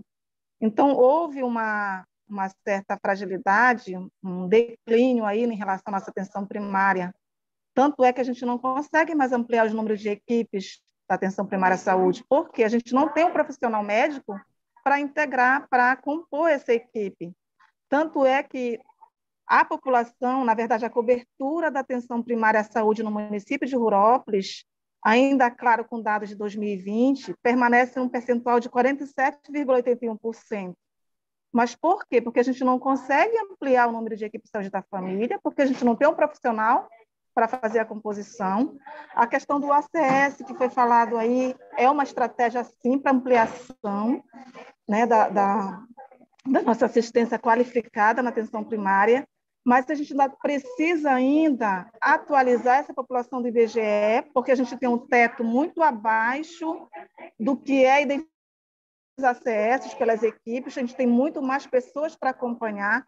Isso também dificulta a, a, o acesso, porque quando veio o Previne Brasil agora, ele fala que o nosso foco principal é o acesso, o vínculo e a responsabilização com os nossos usuários. Perfeito, é isso mesmo. Mas para que a gente possa fazer esse tipo de trabalho de assistência qualificada, integrada, a questão da orientação comunitária, que fala na pesquisa, nós precisamos ampliar o acesso do agente comunitário aos territórios mais distantes. A gente sabe que a gente não consegue fazer essa cobertura de uma forma intensiva. Jacareacanga já tem 83,75% de cobertura da PS. Mas a gente sabe que tem áreas de difícil acesso. Por exemplo, quando a gente foi fazer uma visita para a gente credenciar a unidade básica fluvial do município, a gente teve que pegar um aviãozinho, um teco-teco, e depois pegamos uma lancha, foram quase quatro horas para a gente chegar onde estava o UBS, porque era difícil acesso realmente, era indígena, para a gente poder fazer a visita e apresentar as considerações para a gestão. Isso também é um impedimento, é uma dificuldade muito grande quando a gente fala de ampliação de acesso.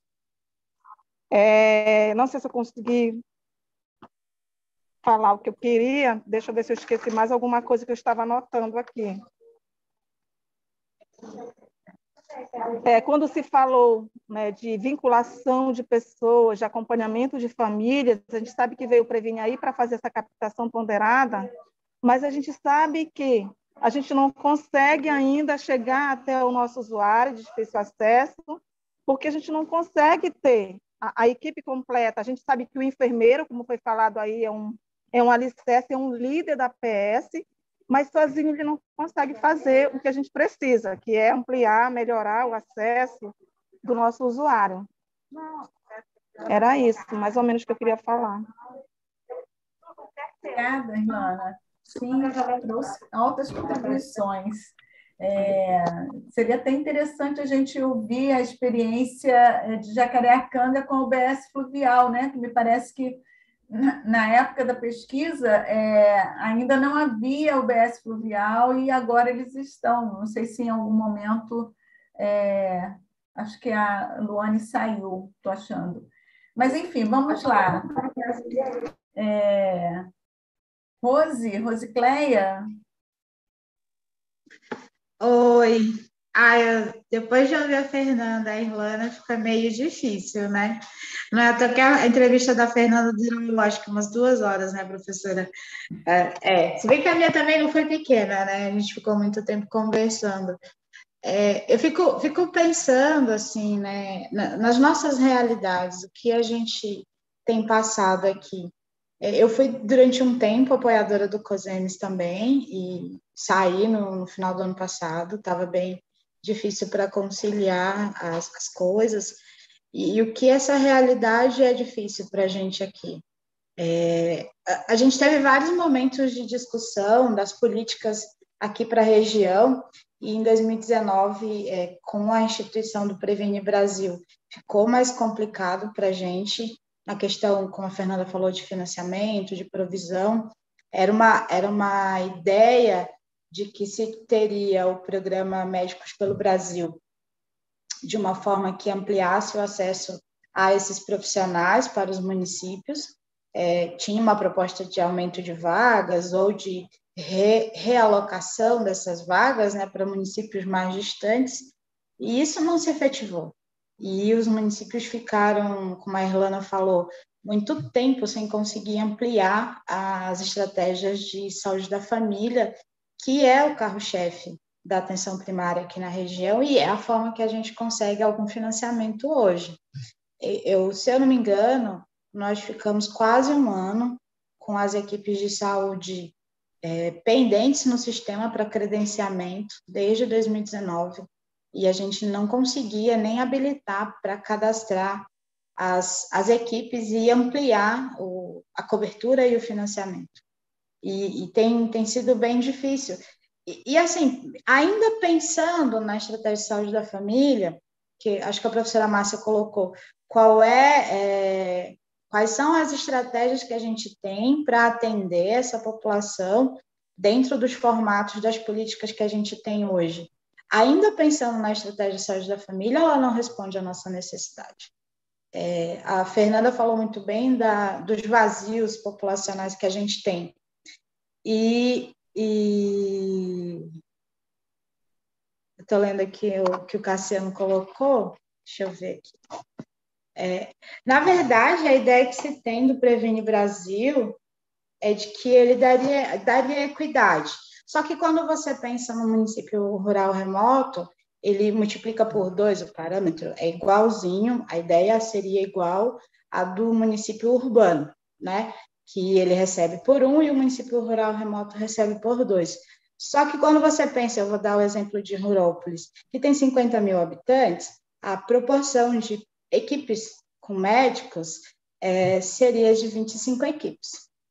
Eu não tenho condições de ter 25 profissionais médicos no município atuando na atenção básica e eu não tenho proposta de investimento. Eu tô, tô vendo pelo vídeo que eu tô ficando vermelha, gente, é normal, tá? é, é, normal, as emoções vão surgindo e elas vão aparecendo, não se preocupem.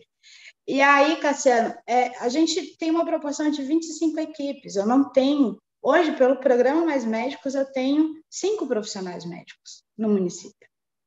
Então, assim, eu tenho sete equipes, dois são do, contratados pelo próprio município e o programa Mais Médico me fornece só cinco vagas. Para atender a demanda do Previne e conseguir receber o financiamento integral para os 50 mil habitantes, eu precisaria de, no mínimo, mais 20 profissionais médicos, o que o programa não tem fornecido e que financeiramente eu não tenho condições de financiar com recursos que o município recebe atualmente. Então, para nós, é uma realidade que a gente não vai conseguir atingir. Quem dera, é, a gente fala assim, ah, seria muito bom se a gente conseguisse colocar a pelo menos 20 equipes de saúde da família, ampliar esse acesso, e a gente teria um acesso melhor para a população, uma cobertura, um cuidado mais, mais próximo. Mas não é a nossa realidade e não vai ser tão próximo assim, não vai ser tão breve que a gente vai conseguir atingir isso.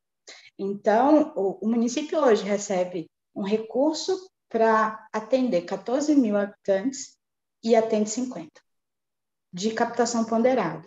De avaliação de desempenho, a gente ainda está mudando, mas não vai conseguir receber tanto assim. Então, o que a gente recebe hoje de financiamento da atenção primária é muito menor do que o que a gente recebia antes. E a gente está tentando lidar com isso e tentando buscar é, é, maneiras de se de se, de se atender à população, dar acesso dar, e dar uma qualidade de atendimento também. É, hoje nós temos, recebemos por 14 mil e já temos cadastradas dentro do sistema 23 mil. Então, tem uma, uma população enorme que a gente está cadastrando, está acompanhando e não vamos receber por elas. E isso dá uma lógica ruim, né? Porque a gente tira a ideia de universalidade, de acesso, porque a gente trabalha está trabalhando na lógica agora de cadastro e de produção. E quando você vem para os indicadores do Previne Brasil, são indicadores atualmente de trabalho, mas que não refletem de verdade a qualidade da assistência que é prestada. São muito quantitativos ainda. A gente espera que isso melhore e que melhore a forma também de, de avaliação desses indicadores. E, e aí, como eu, eu, retomo, às vezes é, são estratégias que não respondem à nossa necessidade hoje. Porque eu tenho é, é, espaços muito distantes, como a Fernanda falou, e que é inviável, no momento, manter um serviço de profissionais, uma equipe nessa localidade. Então, são espaços muito grandes, eu não tenho estrutura para fazer a logística de tudo isso. A, a, nossa unidade mais distante aqui fica a 70 quilômetros. Então, a gente tem que ter uma logística de atendimento para que a gente consiga chegar lá com materiais, com equipamentos, receber materiais. Então, é, são coisas básicas que a gente atua e, e, a logística é muito difícil porque a gente tem um espaço muito grande para atender. Então, um exemplo, é, a, a regra seria que a gente coletasse um teste do pezinho num dia e já no outro dia enviasse por correio para o laboratório central que fica em Belém. mas não tenho condições disso. Ele coleta na unidade, no interior, ela envia para a cidade, isso demora dois dias, mais ou menos, até eu preparar esse material e despachar por SEDEX, que vai levar uns 15 dias para chegar em Belém. Então, assim, a nossa realidade é muito diferenciada. E, e aí a, a, gente é cobrado, a Irlana sabe disso, a regional cobra que a gente faça coisas mais, mais rápidas, né, para dar um acesso melhor, mas infelizmente a gente não, não consegue fazer dessa maneira como se pede dentro das políticas. E aí, é, que, que tipos de serviços podem responder melhor, né? Uma coisa que veio, que a gente percebeu que funcionou bem legal, foi a estratégia de saúde ribeirinha, o modo de trabalho da estratégia de saúde ribeirinha, o processo de trabalho que é pensado, onde você faz os atendimentos é, é, da rotina, atendimentos itinerantes dentro dos pontos de apoio, das comunidades de pontos de apoio, mas ainda assim é uma realidade difícil, porque você não consegue profissional que se dedique ou que se disponha a passar os 15 dias dentro da localidade, é, é, atendendo, mas sem um ponto fixo de, de dormindo cada noite em um lugar para poder atender na lógica do processo de trabalho. Então, são desafios que, mesmo as mais flexíveis, é, políticas ainda é, esbarram em pontos de, de provimento de profissionais, de fixação, e a gente consegue colocar profissional médico na zona rural, por exemplo, somente quando eles são formados no exterior e são com RMS. Se eles têm CRM, eles não ficam no município, na zona rural. Eles não ficam, eles não vão. Somente quando eles ficam no município do interior, somente se for na zona urbana. Na zona rural, que o acesso é menor ainda, somente quando eles são formados no exterior, cubanos ou brasileiros formados no exterior com RMS, que aí é a única opção dele aí para a zona rural, é, a vaga que tenha lá e ele acaba indo, acaba aceitando. Fora isso, a gente não, não consegue. E, e aí a gente tem que pensar né, nessas novas. A gente até já, já pensa em como fazer essas ações itinerantes de uma maneira mais contínua, como a professora Márcia falou, com um calendário. A, a proposta é que as nossas UBSs façam essas ações, a gente tem uma, uma UBS aqui da cidade fazendo isso, ela atende tanto a área urbana quanto a área rural, e ela tem feito isso no local das visitas domiciliares, ela tem saído mais para atender a, as comunidades do interior, mas ainda num, numa, numa estratégia experimental, nada sistematizado ainda. Então, é, a gente tem que pensar realmente, professora, em possibilidades diferentes de atender a realidade da nossa população, que não necessariamente é uma equipe lá plantada esperando o atendimento, mas uma equipe que consiga é, rodar mais ou outras é, estratégias de pontos de apoio, e tudo mais. E eu acho que vou ficar por aqui esperar os colegas falarem um pouquinho também. Ótimo. Nossa, questões importantíssimas. Essa da, da, da experiência das equipes de saúde da família Ribeirinha, talvez você pudesse até explorar mais em algum momento aqui na conversa. Vamos deixar rolar, né? Então, acho que é uma experiência muito importante, muito interessante. Professora Márcia, gostaria de fazer alguma contribuição? Claro. É, em relação aí à fala da Rosicléia, que eu achei bem importante, quando ela fala e em relação aos indicadores do Previne, que geralmente pode ser, no momento pode até parecer que são quantitativos. Foi essa discussão que a gente levou também, Rosicléia, é, quando a gente participou de uma reunião online sobre o Previne. Nós estamos já com 27 anos de implantação da equipe de saúde da família. São 27 anos e hoje em dia a gente ainda tem que falar de acesso, de vínculo e de responsabilização. E eles falaram que, no momento, são indicadores basilares que ainda as equipes não estão conseguindo fazer, que é a garantir né, o acesso à gestante, é, na verdade, em seis consultas de pré-natal ou mais, a questão da aferição de PA, que é uma coisa básica, que a gente ainda não está conseguindo, o indicador está muito baixo, a questão da solicitação da hemoglobina glicada para diabético, que é apenas uma solicitação de não conseguindo ver a informação, talvez seja pela gestão da informação no sistema. Uma outra coisa que você colocou também, que eu acho importante colocar, em relação às equipes de saúde da família ribeirinha, porque como a gente está fazendo os monitoramentos desde março, em algumas equipes, em alguns municípios, a gente percebeu que há o trabalho da equipe de saúde da família ribeirinha, mas não atende ainda às especificidades do Ministério. Tem problema com embarcação de pequeno porte, é, a questão das unidades de apoio que não estão ainda fixadas, existe o credenciamento da equipe, existe o repasse do recurso financeiro, mas a questão do processo de trabalho em relação a essas modalidades de ofertar, de oferecer o acesso oportuno a essas localidades de difícil acesso, ainda estão deficientes em relação a essa situação aqui nos 20 municípios.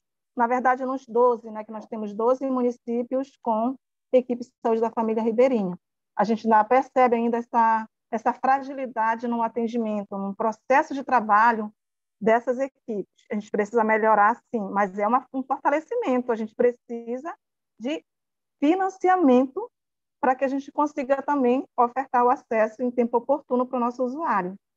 E essa questão de gestão da informação é uma fragilidade também, porque quando a gente tem o pleito, né, o dispositivo credenciado pelo Ministério, a gente esquece, às vezes, de informar no sistema. E quando a gente não informa, a gente deixa de estar recebendo aquele financiamento. Isso já está acontecendo com alguns municípios a gente está tentando melhorar com as nossas visitas. Em relação a essa fixação dos médicos, já foi falado. Quando um médico tem RMS, nós não conseguimos cadastrar no sistema de informação para que a gente possa consolidar de fato a estratégia de saúde da família. A gente acaba suprindo alguns buracos e deixa algumas lacunas em relação à assistência. Isso a gente precisa melhorar. E quando a gente fala é, com os municípios, a Rosicléia ela, ela é bem atuante no município de Rurópolis, e a gente percebe que a gente precisa ainda melhorar o acesso. A gente está, como eu falei antes, estamos com 27 anos de implantação de equipe de saúde da família. O que, que a gente precisa de fato melhorar? Existe na saúde a gestão compartilhada de gestão, equipe, é, em relação ao financiamento tripartite, Ministério da Saúde, é, Estado, município, o que, que a gente deve estar melhorando e avançando em relação a esses aspectos? Eu achei bem importante a gente comentar, porque são coisas que a gente vivencia no monitoramento da atenção primária. Obrigada, doutora Márcia. Gente, vamos rodar a conversa? algum comentário a partir da, das exposições feitas até agora, da Rosicléia, da Irlana, da, da Fernanda?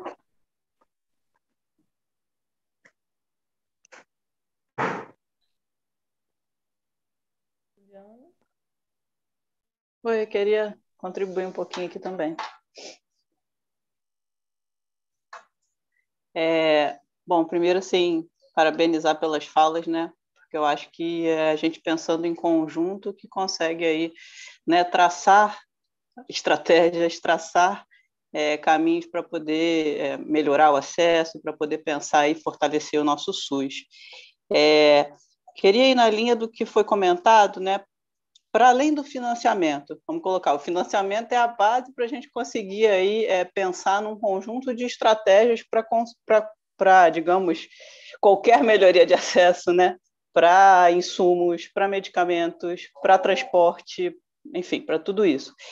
Mas se a gente fosse tentar detalhar um pouco assim, em termos de política pública, o que, que seria assim aquilo que brilha, né, no Norte Estrada, assim, o que, que precisa para o Norte Estrada, né? Por exemplo, a gente coloca a questão das, das estratégias ribeirinhas em termos de política pública, das estratégias fluviais que, que são pensando, pensadas muito nesse acesso da população ribeirinha.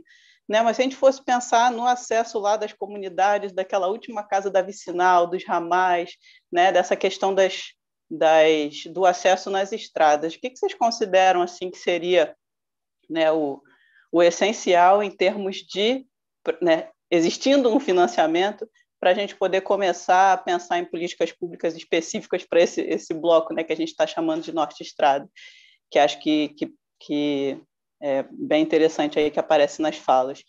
E uma outra questão é se Jacareacanga né, poderia compartilhar um pouco dessa experiência da Jacareacanga e a Irlanda também, da UBS Fluvial e Rurópolis, sobre a questão das equipes itinerantes.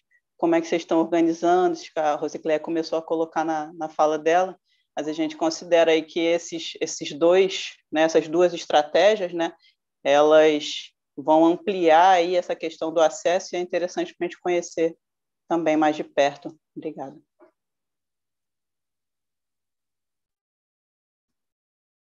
Antes de passar, mais alguém gostaria de fazer um, uma rodada de questões? Antes de passar para a Roscléia e para a Ilana? Cassiano?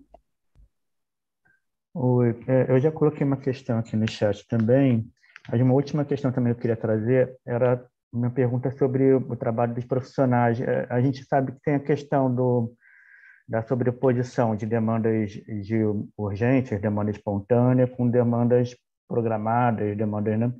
É, como é que vocês acham que alguém até chegou a falar sobre a questão da saúde na hora, né? E como é que vocês acham que poderia ser conciliado isso, né? Assim, com essa situação difícil de, de vinculação das equipes com, com os usuários, né? Assim, como é que seria a melhor maneira de tentar trabalhar isso nesses municípios? Eu queria entender isso de vocês, assim, a questão do sobreaviso, né? Assim, para não desgastar também tanto um profissional que está trabalhando, né? Então é isso, assim, uma, uma questão que eu tenho.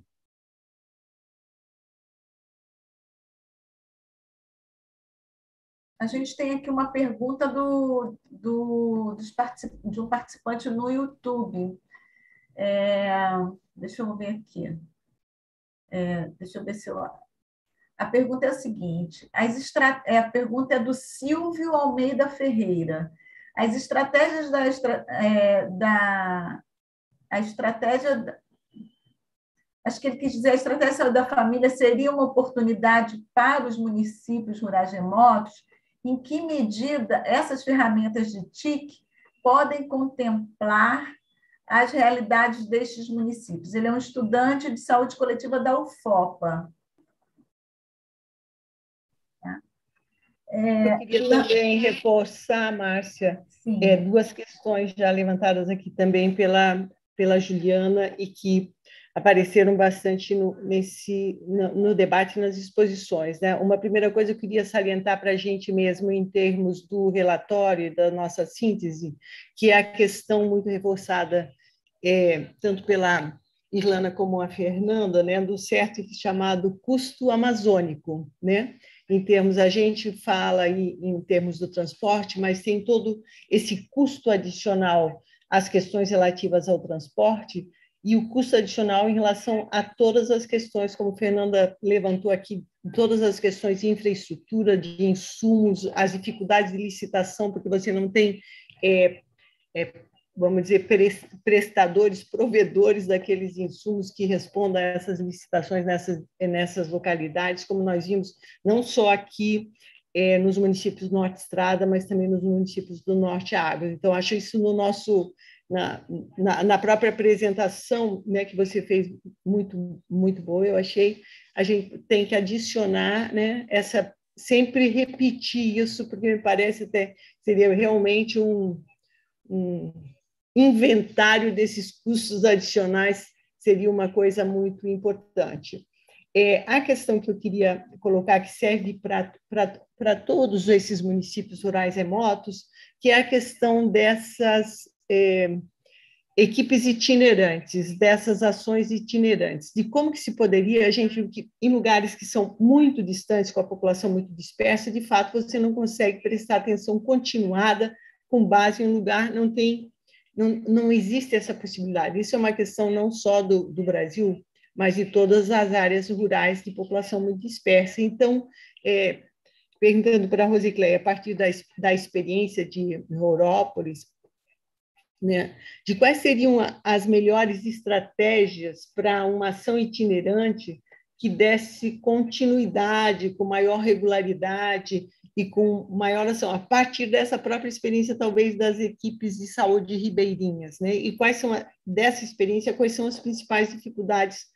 Claro, tem a questão dos recursos humanos, dos financeiros, mas como seria um modelo mais itinerante? Isso está relacionado também com outro aspecto, que a, que é a questão da territorialização. de como que a gente sabe que para a continuidade do cuidado, para a longitudinalidade, para a própria qualidade da atenção básica, essa questão de ter uma responsabilização da equipe sobre a saúde da população e um vínculo equipe-população, é, é importante a, a descrição é, da a descrição da população e uma certa territorialização, seja em relação a agentes comunitários, seja a toda a própria equipe. Mas a gente viu que, às vezes, essa territorialização não, não, não pode nem deve ser contígua. Então, como que quais seriam as, os diferenciais em termos de territorialização e a descrição da população que deveriam ser é, pensados, né? Pensando na possibilidade é, de, de, de, tensão com a política nacional para que olhe mais para essa mais para as singularidades dessa de, desses municípios rurais remotos amazônicos. É nesse, nesse sentido que a gente está colocando aqui. A gente sempre é muito esperançoso, no sentido que vamos tensionar e teremos também não só tão, tempos tão catastróficos como os atuais, mas teremos também tempos melhores de, de ampliação, de melhoria da política de atenção básica. Né? Então, essa é a minha questão. Não sei se Rosicléia podia falar um pouco sobre a experiência do itinerante mais detalhadamente, ou o que você pensa nessa tua experiência, ou a Irlana. Oi, eu vou, eu vou, vou falar um pouquinho sobre, começar sobre a ESF, que a, pediram para a gente explicar um pouquinho. É, até 2016, nós não tínhamos ideia que tínhamos uma área ribeirinha no município. É, sempre foi por estradas, a gente não fazia ideia dessa população lá. E quando teve. Rurópolis hoje está na, fronteira agrícola, é né, a nova, na, nova área de fronteira agrícola de importantes empreendimentos para o país, é, com a, o porto de escoamento de grãos, né, para escoar por via, via comunidade de Santarenzim, que é uma comunidade de Rurópolis, que foi onde a gente descobriu que a gente tinha uma área ribeirinha. É, existe a possibilidade hoje de alguns grandes empreendimentos na região, como o porto para o escoamento do grão, de, da produção de grãos do centro-oeste e do próprio, de própria parte do estado, saída por pelo Rio Tapajós, descendo até Santarém e escoando por, via o Rio Amazonas para exportação. A gente tem também a possibilidade de algumas hidrelétricas na região, então isso chamou muita atenção para os municípios, quem receberiam os, os impostos e tudo mais. Então, é, Rurópolis foi aí que a gente descobriu que tinha uma área ribeirinha, então nós tivemos que fazer desde o primeiro processo de cadastro, de identificação e tudo mais. É, nós começamos e implantamos uma equipe ribeirinha lá e hoje a gente não tem uma, uma, ela não funciona exatamente como o Ministério quer, exatamente pela dificuldade de profissionais de saúde. Então, nós saímos toda, toda semana, a gente vai, leva a equipe até lá e faz esse atendimento. Tem um cronograma de, de atividades, né, um cronograma de quais são as comunidades a, ter, a, serem atendidas, então a gente vai uma parte por terra, a equipe pega lá a lancha, a, o nosso meio de transporte fluvial, e vai até a comunidade que estava agendado o atendimento, e essa comunidade tem uma OBS, que é a OBS mais próxima dela como referência, mas ainda assim a mais próxima fica em média da mais distante, em média 30, 30, 40 quilômetros de distância dessa população. Então, assim, ainda é um acesso, ainda são desafios que a gente tem muito grandes de, como a Irlana falou, de efetivar os pontos de apoio. A proposta para o futuro é de construir uma UBS na região ou pontos de apoio com equipes, é, alguns profissionais pelo menos o básico para de técnico de enfermagem, enfermeiro, que a gente consiga dar um acesso mais próximo a essa, a, a essa população. Ainda é um desafio muito grande, responde em parte à nossa necessidade, mas é, não por, pela política em si, pelo processo de trabalho, mas pela nossa dificuldade em conseguir equipe profissional, custeio dessas equipes e, e, e a distância que é muito grande ainda para a gente. É, hoje, essa, essa ribeirinha está funcionando, a gente está até com uma equipe para lá hoje. a dona Francisca, secretária, foi na atividade de hoje, eu acho que talvez ela não tenha conseguido entrar e acompanhar o tempo inteiro a nossa atividade. E, é, mas a gente ainda precisa estruturar muito, muito, muito essa equipe para a gente conseguir trabalhar de fato a lógica que se pede da, da ESF Ribeirinha. É, quanto à, ideia que a gente tem, é uma ideia que a gente já tem há algum tempo e a gente tem colocado em prática numa unidade polo, que é essa que a gente tem aqui próximo à cidade. Então, eles têm ido com médico, enfermeiro, fazer alguns atendimentos, faz durante, faz a visita domiciliar, mas a proposta é que a gente consiga fazer um cronograma de atividades é, é, um cronograma dessas equipes, onde ela se desloca com parte da equipe da UBS para fazer esse atendimento em alguns polos. Aos moldes da Ribeirinha, que seriam os pontos de apoio, né? Ela conseguir se deslocar com parte da equipe para fazer esses atendimentos lá e depois retornar com exames ou com para fazer um cuidado mais continuado, de maneira que nem toda a população precise estar se deslocando até a UBS para fazer o atendimento. É, a gente tem tentado trabalhar nessa, nessa lógica até a, a ideia que a gente tem, na verdade, de constituir uma equipe de saúde, é, que a gente diz que é uma equipe de saúde rural, mas nessa, nessa lógica do, do rural estradas e não do rural ribeirinho. Seria uma equipe de saúde baseada na cidade e que ela trabalhasse exatamente assim, fazendo os atendimentos, indo e retornando desses atendimentos nas localidades das vicinais aqui próximas ao município, é, próximas à sede do município. Mas também que com, é, teria que ter os pontos de apoio dentro dessas vicinais, é, dos nossos travessões e ramais, para que quando a equipe fosse, ela tivesse a base para fazer o atendimento lá. Seria uma equipe que trabalhasse na lógica da Ribeirinha, indo fazer os atendimentos, mas que ela ficaria aqui na cidade e fosse fazer esse atendimento de carro e desse uma continuidade, né? Quando ela entrar na, numa, numa localidade para fazer um atendimento, já tem a previsão de retorno para que ela conseguisse fazer os atendimentos é, e fazer acompanhamento de pré-natal, vacinação, hiperdia, e, e assim a gente conseguisse atender um pouco mais a população. É, a ideia dos pontos de apoio também é que tenham alguns profissionais para dar os primeiros atendimentos, é, seja é, crises hipertensivas, curativos, essas, essas coisas que ficam mais difíceis para ele vir da cidade fazer um atendimento. Então, é, é, a gente ainda está estruturando uma proposta, Fernanda a gente ainda tem umas ideias ainda, é, mas hoje a gente tem trabalhado mais com a lógica só de uma, uma equipe polo fazendo esse tipo de atendimento. São duas lógicas que a gente pensa em, em trabalhar. Uma que a equipe, as equipes da zona rural façam esse tipo de serviço, de estar saindo mais da, da, da base da, da, da, comunidade onde a UBS está localizada e faça os atendimentos na, nas vicinais de, de área de adscrição dela, e outra é que a gente monte uma equipe que faça só esse tipo de atendimento para dar mais mobilidade ao serviço.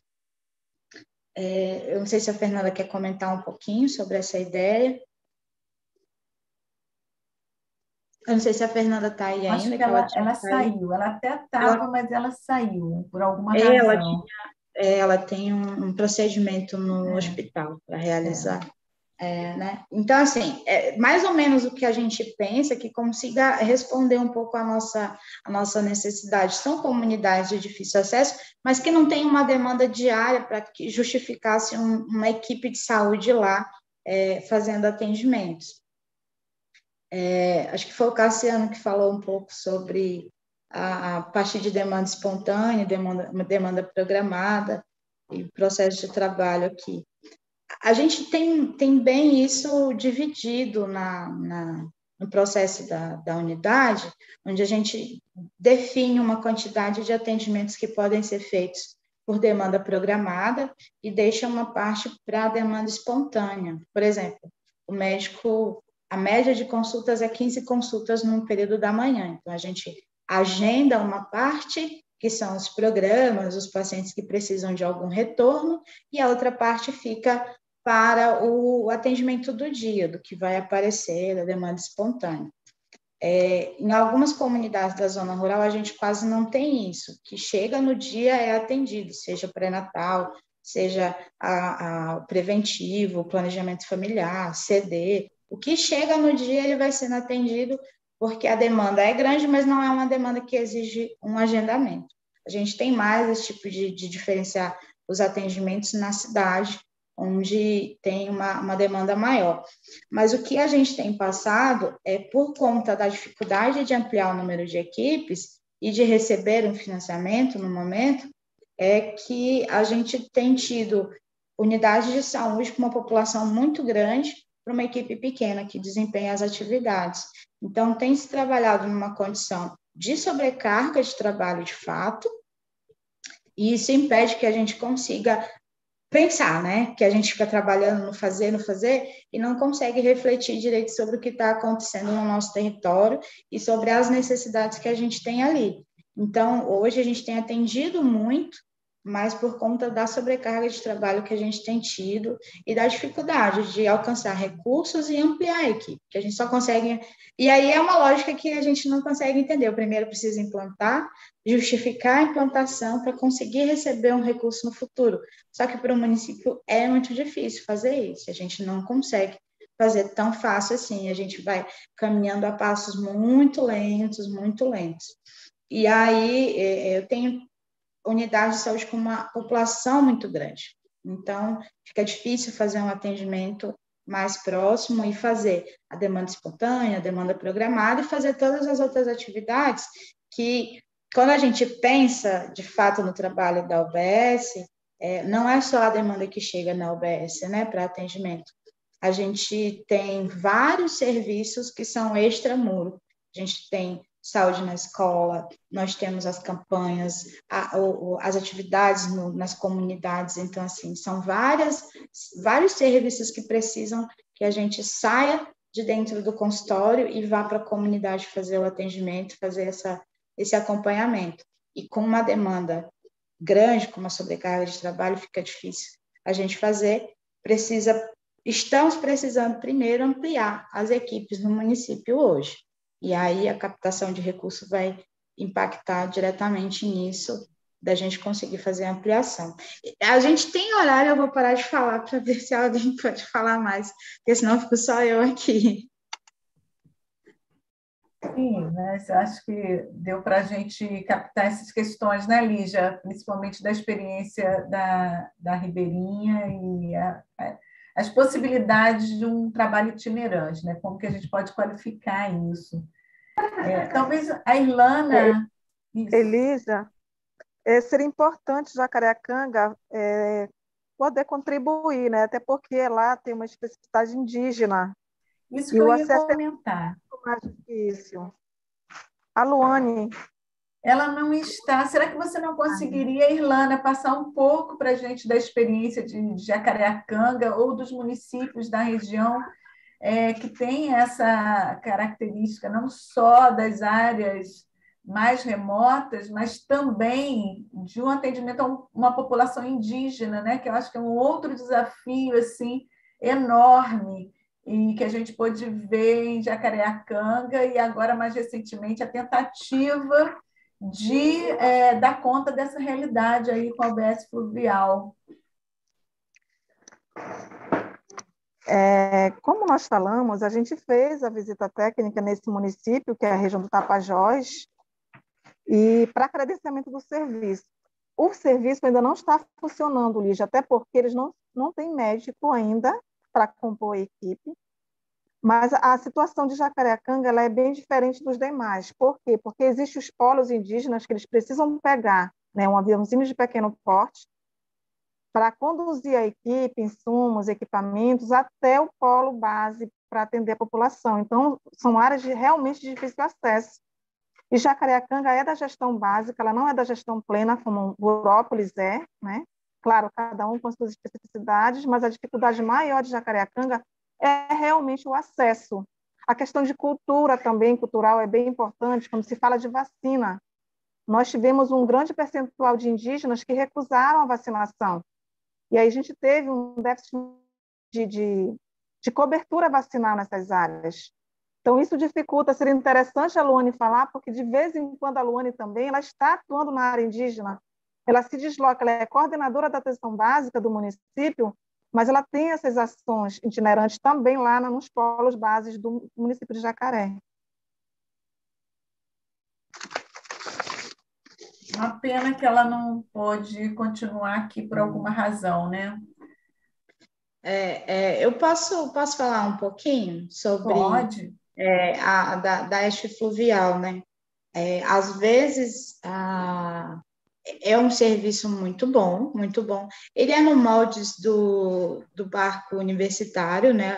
Acho que acho que está se chamando assim hoje o barco do Abaré, que é da UFOPA, e ele faz esses atendimentos onde a equipe se desloca por vários dias durante é, para fazer os atendimentos na, nas comunidades ribeirinhas, né?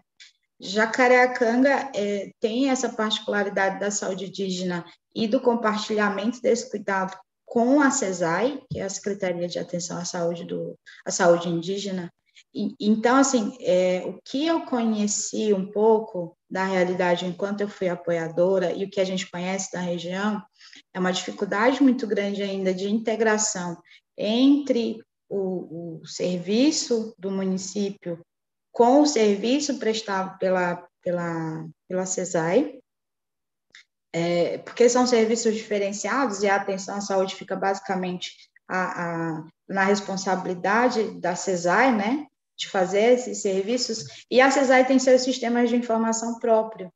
Então, é, demora para migrar essas informações, demora para receber essas informações, e exige, na verdade, lá uma política diferente de compartilhamento e de é, é, isso, isso, professora. Existe a necessidade mesmo, sabe?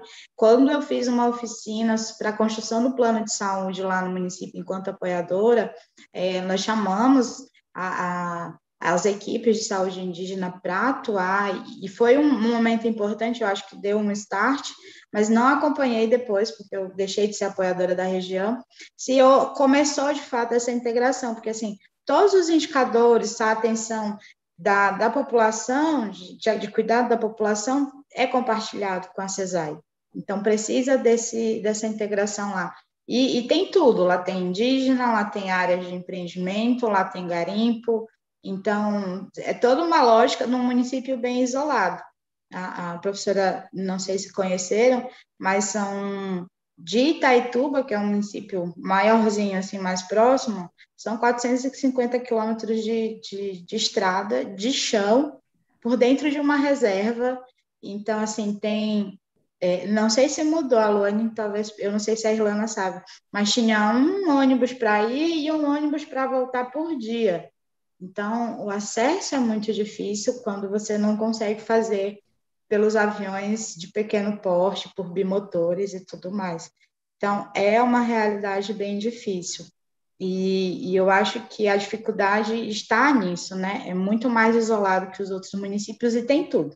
Tem áreas de conflitos, de garimpo, tem a saúde indígena, tem uma cultura muito, muito, muito primária ainda, né? Tem como, como que eu posso explicar? Questões de vulnerabilidade social muito grandes, de, de exploração sexual, de violência. Então, é um município que tem muitos desafios pela frente ainda.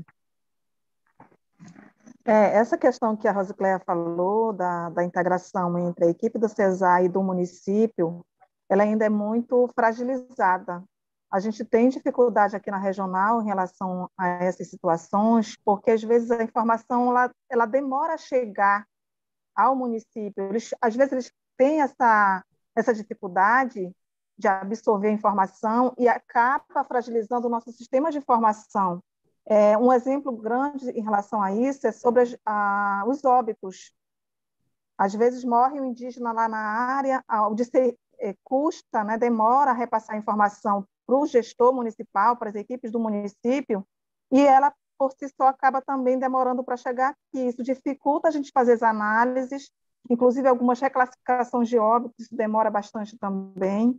Essa situação que a Rosicléia falou do acesso ainda é bem deficiente, sim, Rosicléia ainda tem um ônibus para ir, um ônibus para voltar. A maioria da, dos conflitos que, que, que acontecem no município é em relação à área garimpeira, essa questão da exploração mesmo. Nós já tivemos problemas assim, bem grandes em relação a essa situação esse ano. É, houve cassação de prefeito, houve isso também dificulta, né, a, a, a gestão, o processo de trabalho, a equipe toda às vezes se organiza, há muita troca né, de profissionais, isso dificulta bastante também. E a situação de Jacareacanga é bem difícil. Para chegar em Santarém, tu levas mais de 24 horas para te chegar, passa por Ituba. Então, o universo é bem, é bem gigantesco mesmo, assim, o difícil acesso, né, bem grande. Acesso geográfico, né, Irlanda, que você está comentando. Isso marcou muito Sim. o Jacareacanga, de fato. É. Sim, o acesso geográfico, a situação da internet, que eles não conseguem participar dos eventos de uma forma online. É o caso agora do secretário que não pôde participar. Talvez a conexão da, da, da Luana tenha caído justamente por isso. A dificuldade lá é muito grande de conexão. É, existe só uma, na verdade, duas equipes da família no município, as demais tudo em área indígena, em polo. Isso dificulta o acesso da equipe é, na verdade, o deslocamento da equipe da zona urbana para rural, é, é, bem complicada a situação de Jacareacanga. É, ademais das questões ambientais que são gravíssimas, né? Tanto em termos da destruição da floresta, como a questão da, da mineração, né? Que são Exatamente, doutora Liz. O, quando nós fomos, quando Juliana foi, né? é, era o início da, daquela avalanche da, das queimadas, né?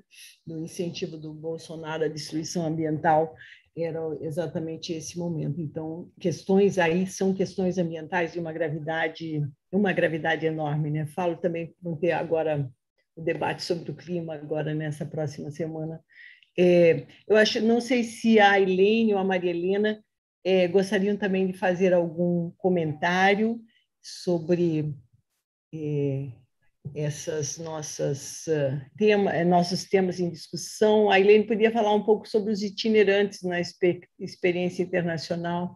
É, eu me lembrei aqui também sobre essa questão dos pontos de apoio é, no, no, no modelo de na Espanha você tem centros de saúde que são territorializados em alguns estados em que você tem uma é, dispersão populacional muito importante, e eles têm realmente uns pontos de apoio muito, muito simples, que se chamam consultórios, em que os profissionais da, da equipe Rosicléia da, do centro de saúde, eles se deslocam regularmente, tipo uma vez por semana, claro, também com acesso estradas de outra ordem, né? mas com sobre, eu estou falando um pouco sobre a qualidade desse ponto de apoio, né? não uma UBS no Quinés, mas um ponto de apoio, ele pode ter uma estrutura mais simplificada para possibilitar é, um consultório, atendimento com alguma regularidade. Né? Então, eles têm esse tipo de trabalho, mas é uma equipe que atende a população da área e, e se desloca é, com uma certa periodicidade, semanal ou quinzenal. Lá, na verdade, era assim, semanal, né? Para essas áreas. Fala, Helene. Não, é, eu acho que tem duas coisas, né? Eu acho que tem essa coisa do, eu acho da, dos pontos de apoio, né? Que acho que várias pessoas já falaram que ela é super importante. Deixar claro que não são unidades, né? Básicas, mas elas podem fazer muita coisa, né? É, e se você tiver agora uma das coisas que eu acho que aí realmente tem que investir, aí a gente tem que discutir essas questões de financiamento, não é? Não como o município é, resolver isso sozinho, nem o Estado, tem que ter uma política federal clara para isso, que são as questões de internet, né, de seja rádio, seja de comunicação, porque elas vão em duas questões. Elas vão tanto na questão de informação, né, que o, por exemplo, esses postos de apoio têm que estar integrados para a gente saber, como vão também na questão da qualificação da atenção, né? Então, às vezes é muito mais barato você fazer uma teleconsulta, um teleprocedimento. Então, por exemplo, eu fiquei muito impressionada em algumas experiências internacionais que você tem até, até por conta dessa dificuldade de médico de levar para lugares, até telecoposcopia, né? Então você faz o atendimento, é, uma pessoa via outra, você colhe, em vez de mandar a pessoa, manda só o material, né? Isso é muito interessante você imaginar, imaginar que você possa fazer isso, né? Qualifica a atenção, qualifica o trabalho das pessoas e fica mais barato no final das contas, né? Porque em vez de eu mandar um, um usuário, eu vou estar tá mandando só uma peça, né? E só vou mandar realmente adiante é, os gastos, né? Que são muito altos se você realmente precisar. Né? Então, eu acho que esse tipo de coisa, isso para mim ficou muito claro em todos os em todos os campos que a gente fez, com exceção talvez de alguns municípios muito ricos de Matopiba e do vetor centro-oeste por conta do agronegócio, né? Nos outros, os municípios fazem muito esforço, agora tem um problema de financiamento brutal, né? Isso tem que estar pensado, é muito mais do que está colocado, né? Tem que pensar nessas estruturas de uma forma mais elaborada que inclua tudo isso. É a única forma de garantir equidade, né? A outra coisa que eu acho que a gente viu experiências em outros lugares, é, a gente viu lá no Centro-Oeste, que eu também achei muito interessante, é, por conta dessa dispersão populacional, tem dois aspectos também, né? Apesar dessa dispersão populacional, né, você sempre tem uma ida das pessoas para a sede dos municípios, especialmente na data dos benefícios sociais, né? E, então, assim, eu fico imaginando que isso é uma coisa de você organizar o serviço um pouco naquele dia. Né? Se você tem um sistema de informação, não interessa que a pessoa está lá, ela foi lá e vai ser atendida, tem a demanda, né? Daquele dia ser meio para as pessoas que vêm de fora, né? porque elas ficam o dia inteiro, até pelos transportes, como você falou, o transporte vai de manhã e volta de tarde, né? Então, essa ida para a cidade, né, para o centro urbano, é interessante da gente aproveitar. E a gente viu também um esquema de casa de apoio no município, não casa de apoio para nos por exemplo, é muito comum o esquema da casa de apoio no município que tem o tratamento do câncer, né? A gente viu em alguns lugares a casa de apoio para a população que vem de longe poder dormir na cidade, poder ir no serviço, ou poder. Então, isso eu achei que foi, foi uma experiência barata até, que a gente encontrou, e assim, veio para divulgar, né? E ela deu um impacto bem positivo, né? Porque as pessoas dormem ali e facilita muito, né? Então, isso são algumas coisas que eu fico imaginando que podem, né, na troca de experiências do que a gente encontrou em outros lugares, né? Agora, mudando de assunto, eu queria ouvir um pouco vocês, quando a gente estava discutindo um pouco, a gente fez análise também, não é área município rural, mas uma parte lá de Manaus, que é uma área longe do centro, longe, uma área super rural de Manaus, né? bem longe, 12 horas de barco, etc, etc. E uma coisa que apareceu, né, a gente sempre vê falar de vários tipos de conflito, né? Mas apareceu um conflito que eu não imaginava, né? Um conflito assim, a população ribeirinha, que no caso era a população ribeirinha, reclamando da população indígena no sentido que exatamente pelo DICEIS, etc., eles tinham melhor atendimento do que eles, né? E uma reclamação grande, né? Inclusive assim com coisas loucas, né? Que, para você colhe o sangue para ver se tem malária, mas aí tem que levar o sangue a pessoa no DICEI para poder lá que tem microscopista. Eu não imaginava esse. Tem tantos conflitos, né? Mas esse era um conflito que eu, que eu, que eu não imaginava, né? Que apareceu lá expresso algumas vezes. E eu achei interessante, né? Agora, essa então acho que é um pouco essas questões, né, que fazem a gente ver que não tem um modelo pronto, né? A gente tem assim algumas linhas, né, que podem ser mais, que tem que ser muito customizadas em cada área, né? É, as questões de pensar regionalização também, né, até por conta dessa lógica dos, dos usuários, né, essas questões que eu fico, acho que são interessantes da gente trocar, né? Hernani, quer fazer um comentário, Hernani? Ah, tem muitos, mas vamos tentar ser bem objetivos.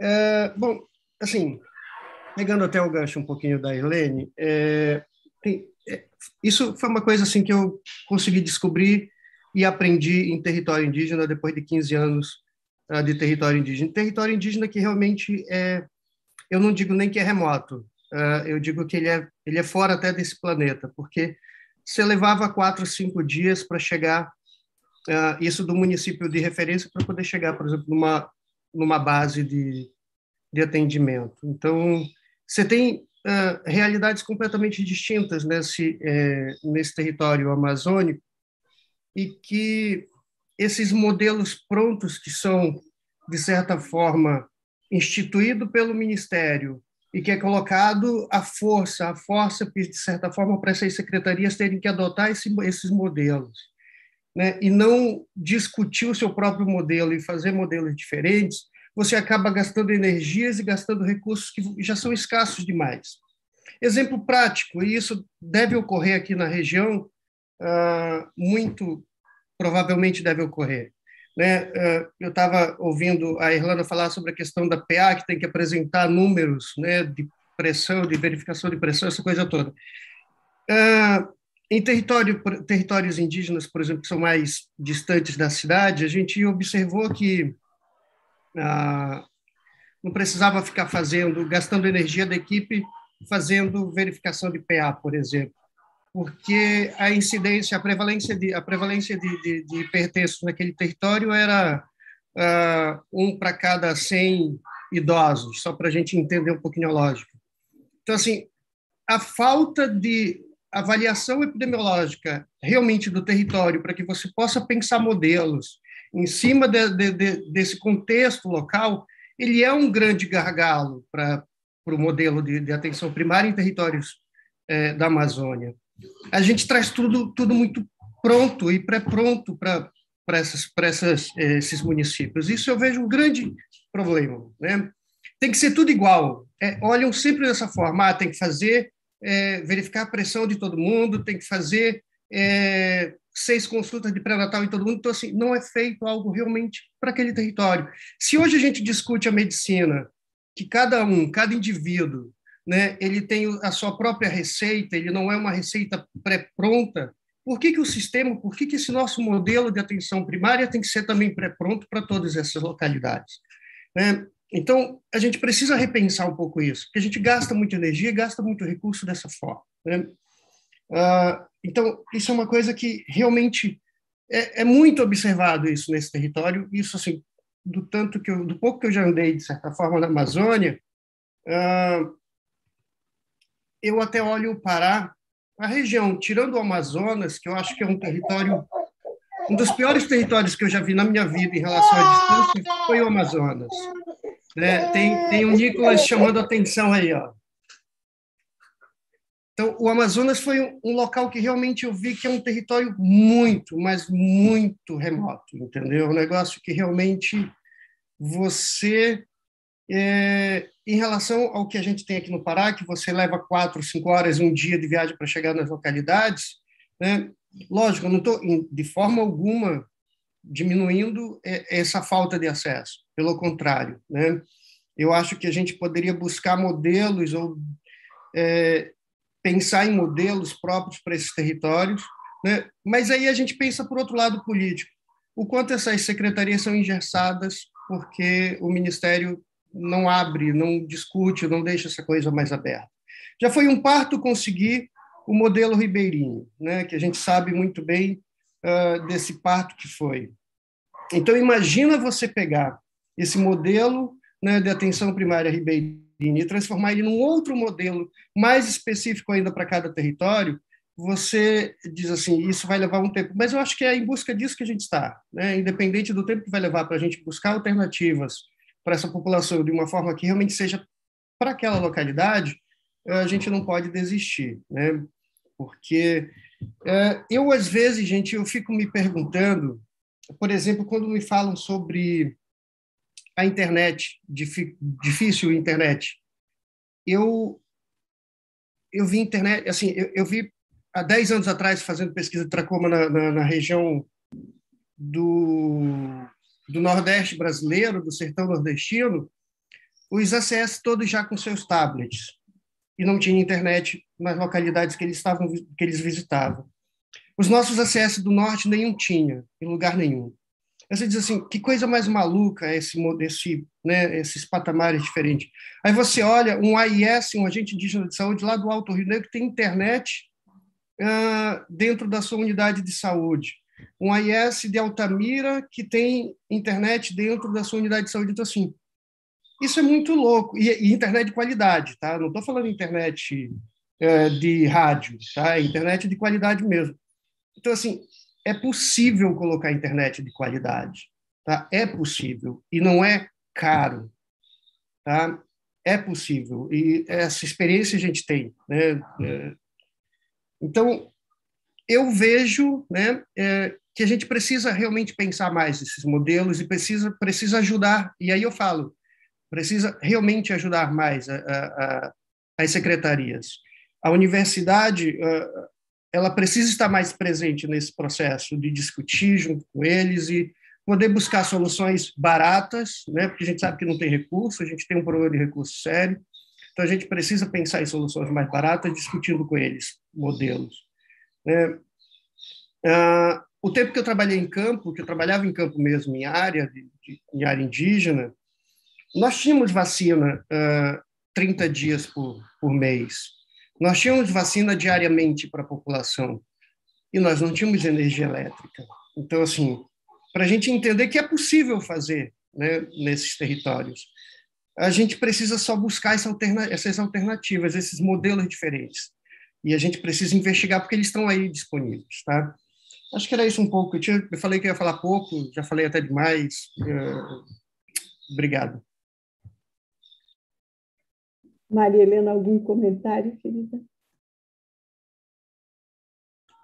Sim, não, tô, eu fiquei muito satisfeita de assistir hoje, né? Quer dizer, cada um vai tendo a sua é, particularidade, né? Mas eu acho que hoje as, as gestoras, né? Eu acho que foram muito é, muito eloquentes nas questões que elas trouxeram, né? E, e que de alguma maneira é, é, é, é preciso né, é, considerar, na medida que a gente está tendo a implementação de um novo programa, de uma nova política de saúde, que é o Previne. Né? Essas pessoas estão sendo é, chamadas né, para trabalhar, né? e a gente precisa estar mais também atenta aos impactos que isso possa vir a ter, né, em termos que, de que esse novo financiamento, efetivamente, acho que Cassiano colocou, em que medida ele é dito como que vai apresentar melhorias e se vai trazer mesmo, né, ainda mais do ponto de vista de infraestrutura, né, que eu acho que foi bastante comentado aqui. Mas, assim, eu acho é, que, até por um certo distanciamento, eu não fiz o trabalho de campo, eu não, não, não, não tenho participado necessariamente desse processo da pesquisa, mas mais como é, observadora né, do que está acontecendo e, e das e, e, de pensar as condições que nós estamos vivendo, contextuais no país, é, eu, me, eu chamo muita atenção né, algumas questões que foram levantadas aqui. O quanto que nós estamos vivendo um processo dinâmico. Acho que foi Fernanda quem chamou atenção, e Irlanda também, de como é dinâmica a economia e como está havendo, né, quer dizer, um avanço nas frentes de fronteiras agrícolas que, que tem um impacto muito grande sobre a organização né, social, econômica e política desse, de, dessa região. E nessa questão mais assim que foi trazida agora por último, Hernani, a Helene também colocou, e ontem eu assisti, ontem não, que quarta-feira, eu assisti um debate é, do SESC sobre a questão da educação, mas que, na realidade, trouxeram o Krenak para discutir, junto com o professor da Universidade de Minho, sobre essa questão da cidadania, né? era mais voltado para a infância.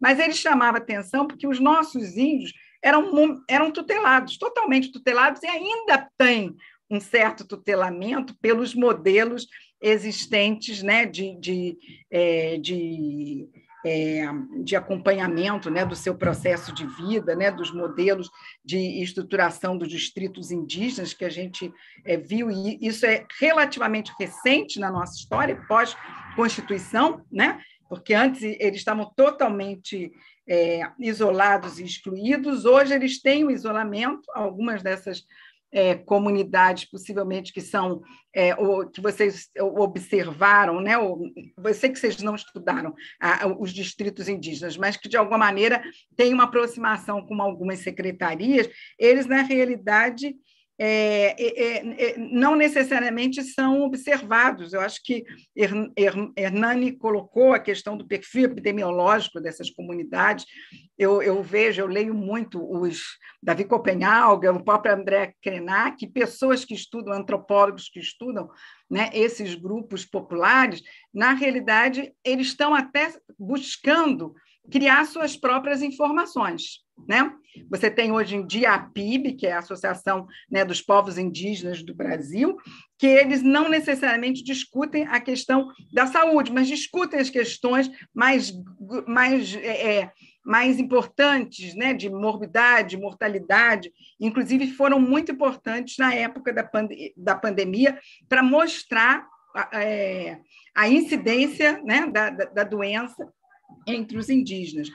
E é, algumas possibilidades de pensar como atuar gente, essa, junto a essa população, eu vejo também, pelo que eu vejo, que eu leio, que eu acompanho, é, que hoje a universidade, é, as, as, universidades é, na região norte, elas estão muito abertas né, para acolher é, e, e, oferecer formação para os indígenas que, de alguma maneira, trabalhem né, o conhecimento mais tradicional, os saberes é, dessa população originária. Né? Então, acho que é, eu acho que quando Hernani chama atenção da dificuldade de você trabalhar com padrões né, que não correspondem à realidade, essa é um pouco a grande questão que sempre foi colocada para nós, analistas de política, sobre determinado recorte das políticas públicas. Né? Ela, de alguma maneira, ela visa né, um, um padrão. E, no entanto, a gente já tem determinados modelos aí colocados que precisam ser melhor articulados, melhor é, trabalhados né, politicamente, não só no nível federativo, por todas as instituições, mas no nível local. Né? Quer dizer, fica, fica claro que, às vezes, é, é, existe um descompasso entre a informação que o, sempre houve um descompasso entre a informação que a CESAI é, coloca e a informação que está sendo vivenciada é, no campo por essas populações e, e, e, pela, e pelos grupos, de alguma maneira, próximos que estudam né, os impactos sobre ela.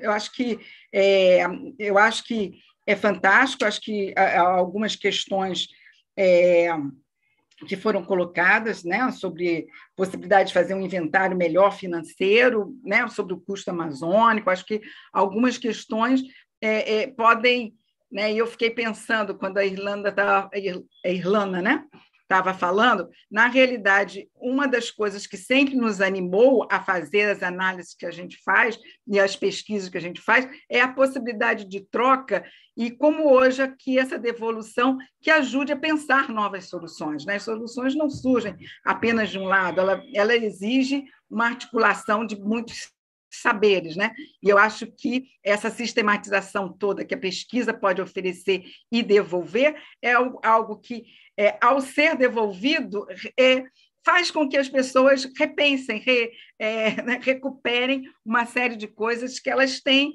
elas vêm, elas, elas, elas têm contato na realidade, mas precisam, às vezes, houve nossos relatórios que foram utilizados pelos tribunais de contas municipais, né, por, por várias instituições, para fazer valer a cidadania, para fazer valer o, o direito de saúde. Né? Eu acho que é, essas possibilidades estão abertas aí. Era, era isso que eu queria comentar. Elígia, acho que a Juliana também queria falar, né? Fala, Júlia. Não, é só, só para dizer da satisfação né, que está sendo esse momento, assim, da gente é, conseguir mostrar um pouquinho do que a gente viu na pesquisa e, ao mesmo tempo, atualizar né? A gente já vê conjunturas diferentes nos municípios, a gente já vê é, o, né, o que, uma das coisas que foi pauta aqui da discussão, que é a questão do financiamento, né, que, que, que abarcou essa questão do, do, do, rural remoto, mas que, ao mesmo tempo, né, não consegue dar conta da, da, da, da realidade. Né? Então, só, só dizer assim, da satisfação desse momento e é, enfim, para uma outra oportunidade, né, Irlanda e, e, demais, a gente pensar numa oficina aqui, crua, uma iniciativa interessante aí, muita gente começou a rodar na região, né, a partir do campo da pesquisa, então agradecer essa oportunidade e a gente pensar a partir de fevereiro, eu vou estar voltando com maior atividade na, na UFOPA, após a licença do doutorado e a licença maternidade, então a gente pensar Irlanda num, num processo aí, num formato que possa divulgar esses resultados da pesquisa e também dialogar com um conjunto de municípios, inclusive que a gente infelizmente não pôde visitar porque não tinha, não tem é, é financiamento para visitar todo mundo, mas é, enfim acho que vai ampliar ainda mais aí esse olhar e a gente pensar em, em um produto, né, que possa ir é, prático, né, quem sabe nortear de uma forma mais direta a questão da, da política pública. Então, o convite aí para a gente pensar isso para o futuro também. E é isso.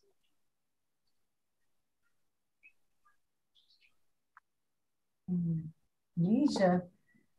Ah, a Irlana quer falar, Irlana? Irlana? Oi, oi.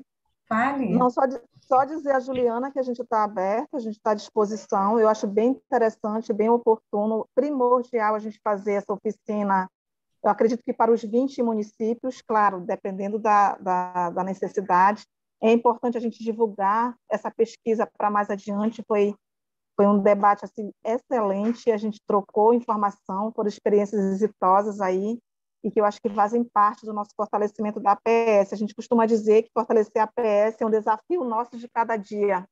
Então, se cada um né, contribuir da, da forma como pode, é, claro, dentro das suas é, condicionalidades, é importante a gente trabalhar junto, integrado, não trabalhar na sua caixinha, cada um no seu quadrado, isso a gente não vai conseguir fortalecer a APS, a gente não vai conseguir dar um acesso resolutivo ao nosso usuário. Então, é isso, a gente está à disposição, enquanto no CRS, para realizar essas discussões a nível de fortalecimento da nossa atenção primária à saúde. Bacana. Obrigada, Irlana. Lígia, o, a Lígia, depois o Cassiano, e aí já vamos nesse, nesse nos encaminhando para o fechamento dessa oficina, tá bom? Que eu estou achando assim maravilhosa. É, eu gostaria de fazer, nesse sentido mais da, da finalização também da nossa oficina, é claro, agradecendo as contribuições de todos, mas queria fazer alguns comentários que eu penso, é, em primeiro lugar, a questão das diretrizes nacionais e a aplicação local. Né? Então, é, sempre há essa tensão entre uma normatização excessiva e, um, é, e, a, e a questão da, da aplicação conforme as singularidades. Então, a gente tem que encontrar formas é, que possibilitem você ter diretrizes gerais, né, que incentivem resultados positivos em termos da saúde da população, é, mas que, permit, que permitam né, uma aplicação com respostas mais singulares, dependendo das necessidades. Com isso, queria reforçar, é, tem uma questão que, para mim, é clara ao mesmo tempo, né, que você teve uma indução federal em termos de financiamento da estratégia saúde da família ao longo de bastante tempo, né, e que foi essa indução federal e uma certa normatização é, é, muito clara, que possibilitou a expansão da estratégia de saúde da família nessa intensidade para todo o país. Então, é, acho que tem essa composição entre a centralização e a descentralização, sempre essa tensão. Então, acho que isso é uma coisa importante. No momento atual, a política nacional ela acabou com a prioridade para a estratégia de saúde da família, aboliu os incentivos para a estratégia de saúde da família abolir os incentivos para o NASF. Então, a gente tem que ter clareza nisso. Então, quando a gente fala é, nessa questão do modelo assistencial, é, que há uma mudança, né? não é um, um, mero mecanismo de financiamento, há uma mudança, teve uma mudança com esse governo atual da direcionalidade do modelo assistencial na estratégia da família, que não se concretizou, tem um, um ministro general, é, outros ministros que foram ao longo do tempo, mas essa, essa, essas políticas têm uma tão, tão em implantação. Então, são ameaças e são retrocessos também verdadeiramente reais e que ficaram aqui claros também, ainda que os municípios rurais remotos poderiam ter um incentivo maior por conta é, do é, que, que, recebe um, um, uma captação, um ponderado da captação mais elevado, né, acaba é, reduzindo, ao acabar com o PAB fixo, acaba reduzindo os recursos para os municípios. Então, essa é uma embate nacional em termos de não permitir que se reduzam os recursos para a atenção primária, é, para atenção primária no nível local, muito importante, né?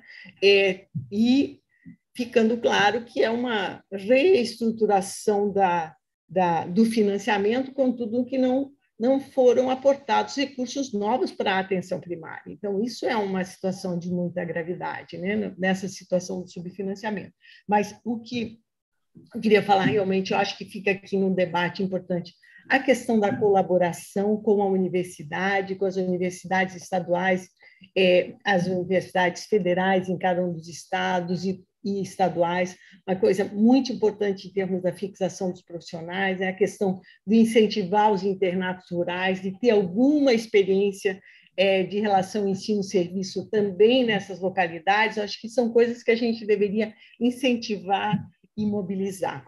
Outros aspectos que ficam muito, que nós vimos como uma, uma dificuldade, como é, uma fragilidade muito importante são as questões relativas à competência cultural e à intercultural, que se chama geral da interculturalidade, né? De fato, de, da compreensão diferenciada dos, da cultura dos diversos grupos populacionais e quando se relacionam com a população indígena, então isso fica é, de forma muito mais patente. Então, esse é um, um aspecto é, na nossa atenção primária à saúde brasileira que a gente tem que desenvolver mais. O outro aspecto que também a gente apontou aqui, a questão da participação social, né? É, os estudos internacionais mostram também é, que é, construir modelos assistenciais para facilitar o acesso, melhorar o acesso é, para populações rurais e remotas, é muito importante a participação social, porque é nessa interlocução com a própria população, né, e em alguns lugares você tem movimentos sociais mais potentes, né, com essa própria população, que você vai construindo, né, Rosicléia, essas estratégias, é, é que a Rosicléia está bem aqui no meu, na frente do, do, do meu, os quadrinhos, é, é que vai construindo essas é, é estratégias mais é, que respondem mais a essas necessidades. Uma outra questão que eu, eu gostaria aqui também de mencionar é da importância do engajamento dos profissionais e dos gestores nesse é, na implementação do SUS é, municipal nessas áreas. Né? A gente viu nesse exemplo é que eu só fui nesse nessa localidade posso falar só dessa localidade que foi a importância das gestoras, né? É, pessoas do do município, engajadas em melhorar a situação do seu município, né, que foi o exemplo da Rosicléia e da Fernanda aqui, de, de profissionais muito engajadas na defesa do direito universal à saúde nos seus municípios. Então, eu queria realmente aqui, de público, parabenizar é, essas profissionais, gerentes, que buscam né, melhorar cotidianamente, né, com muitas dificuldades e muitas iniciativas, melhorar a atenção à saúde dessas populações. E falando aqui do nosso, a ideia dessa nossa pesquisa e de todos esses debates, de fato, é iluminar esse, essas questões das especificidades, assim, nacionalizar um pouco mais, né? Que para nós, claro, foi vocês têm esse conhecimento e essa experiência, para nós foram muitas novidades muito instigantes, né? Mas nacionalizar essa questão do rural remoto e, e das especificidades para ver se ao longo do tempo, vamos implementando políticas que sejam mais singulares e respondam mais às necessidades. Né, Márcia? Sim, essa, essa é a ideia, né, Lígia, que sempre nos instigou a, a desenvolver esse, essa pesquisa e e agora, nessa fase que nós estamos, que eu acho que a, é, a, pesquisa não é só ir a campo e coletar os dados, mas o que fazer com os resultados encontrados nessa pesquisa. E, e é, o nosso compromisso é, vai além dos nossos interesses de, de, de produção de artigos né? É, é, e, e das atividades específicas que são da academia, mas é tornar esses resultados públicos né? e, e avançar em produção de, de políticas que correspondam, de fato, às, aos desafios que estão postos cotidianamente aí em cada um dos municípios, enfrentado pelos gestores, é, no sentido de, de colocar essa atenção primária em prática, pelos profissionais né, que estão lá no dia a dia, em contato com seus usuários, tentando organizar ações que deem conta de, daquelas necessidades que é, no, no, na, é, cotidianamente, novamente, é, aparecem ali é, nas suas unidades, né, nos seus consultórios, nas atividades que fazem visita domiciliar, e a gente sabe que são desafios enormes para os profissionais de saúde, é, e a gente tem aqui que considerar também essa parte né, do, do processo de trabalho como um, um, um conjunto de, de indagações e de questões que a gente precisa é, responder ou encontrar alternativas para qualificar esse trabalho, e também a questão dos usuários, né, que no seu dia a dia, no seu, na sua forma de viver, nas suas condições de vida, é, procuram os serviços de saúde, relatam as suas necessidades, necessidades que vão além de um atendimento é, médico ou de enfermagem ou de contato com, com o ACS, é, e que a gente precisa a, ah, reconhecer como necessidades que é, interferem aí nas condições de saúde dessa população e que exigem dos serviços de saúde respostas, né? Respostas a essas necessidades. Então, é, esse é o nosso compromisso, e mais do que compromisso, esse é o nosso desejo de avançar. Né? Essa, acho que essa oficina ela é o, é o start aí dessa etapa da pesquisa é, que tem não só a intenção de divulgar, mas de disseminar, como bem falou a Lígia, né? É, é, essas questões que elas contaminem mais do que a nós envolvidos com o tema, né? mas que ilumine aí essas questões para que outros reconheçam é, a importância é, de tratar é, especificidades dos territórios rurais remotos, para que lá no, na época a gente tinha o PEMAC, e que foi o que impulsionou a nossa decisão pela pesquisa de, de, de nos processos avaliativos, é, entender por que, que uma equipe é, tem menor desempenho do que outras, né? O que está por detrás disso? Então, muitas vezes, vai além daquilo que a equipe faz, mas são as condições dadas para a realização desse trabalho, né? para a realização dessa atenção primária. Então, assim, é, esse, é essa nossa intenção, ir além, disseminar, envolver outras pessoas, criar outros espaços, né?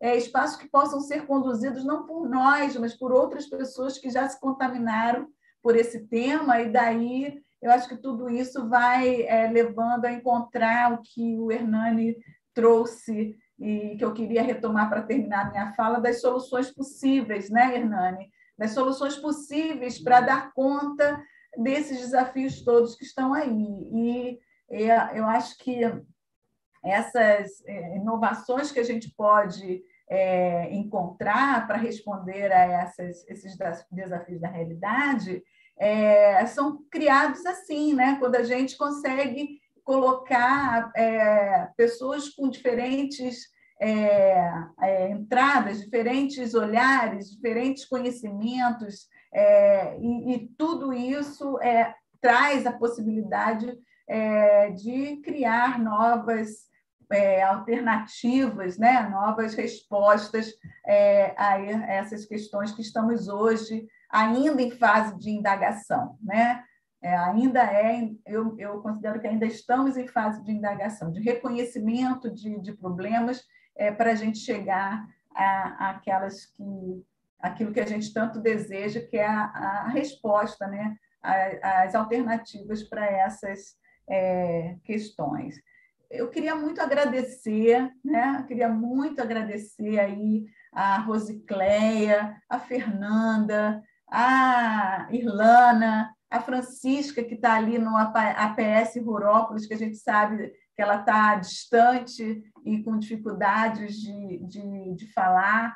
É, pessoas que não conseguiram se manter aqui por questões de conectividade, como a Júnia, lá de Assis Brasil, que talvez pudesse é, trazer outras contribuições aqui, de pensar a questão da, da população indígena, mas também da saúde nas fronteiras, que ela ainda tem, lá ainda tem esse desafio, né? de como organizar uma atenção onde a circulação vai, vai além do, do município, da região e que ainda envolve popula uma população brasileira que vai para o Peru e da população do Peru que vem para, para a CIS Brasil. Né?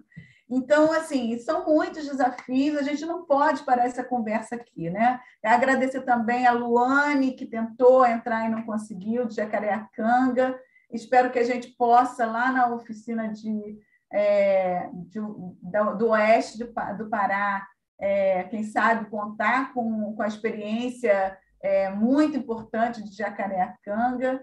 E queria assim, agradecer a todos que se mantiveram aqui, é, puderam colaborar nessa nossa roda né, de conversa, nesse nosso diálogo, é, e juntando esses dois espaços, né, academia e serviço. Gente, eu só tenho a agradecer, assim, muito é, feliz com o resultado dessa oficina. E queria colocar a palavra para quem mais queira se manifestar aí para o fechamento a gente já chegou a 12 e 6, né?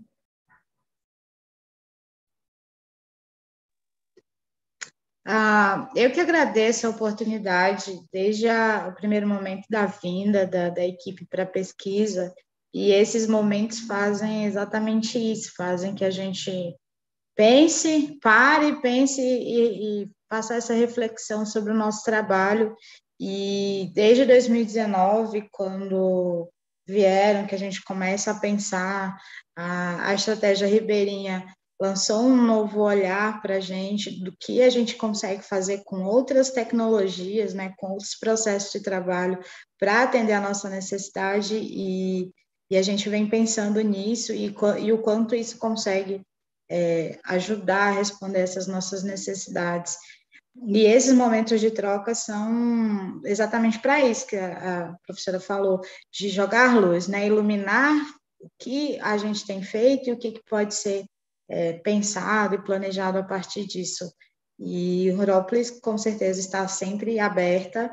A gente tem participado e é muito gratificante participar como eu e a Fernanda brincamos, a gente coloca Rurópolis no mapa, né? Porque a gente está aqui no, interior do interior do estado do Pará, escondidinho, mas a gente tem colocado Rurópolis no mapa e, e é um espaço gigantesco para aprendizado, para pesquisa, que aqui tem de tudo, de tudo um pouco, ah, meu professor orientador, o professor Francisco, da, da Faculdade de Medicina, ele disse que Rurópolis é o centro do mundo, e, e de fato, para nós é o nosso centro, é o, o nosso mundo, e tem infinitas possibilidades para o trabalho, para pesquisa, e a gente quer deixar o convite para vocês virem trabalhar, pesquisar, passear aqui.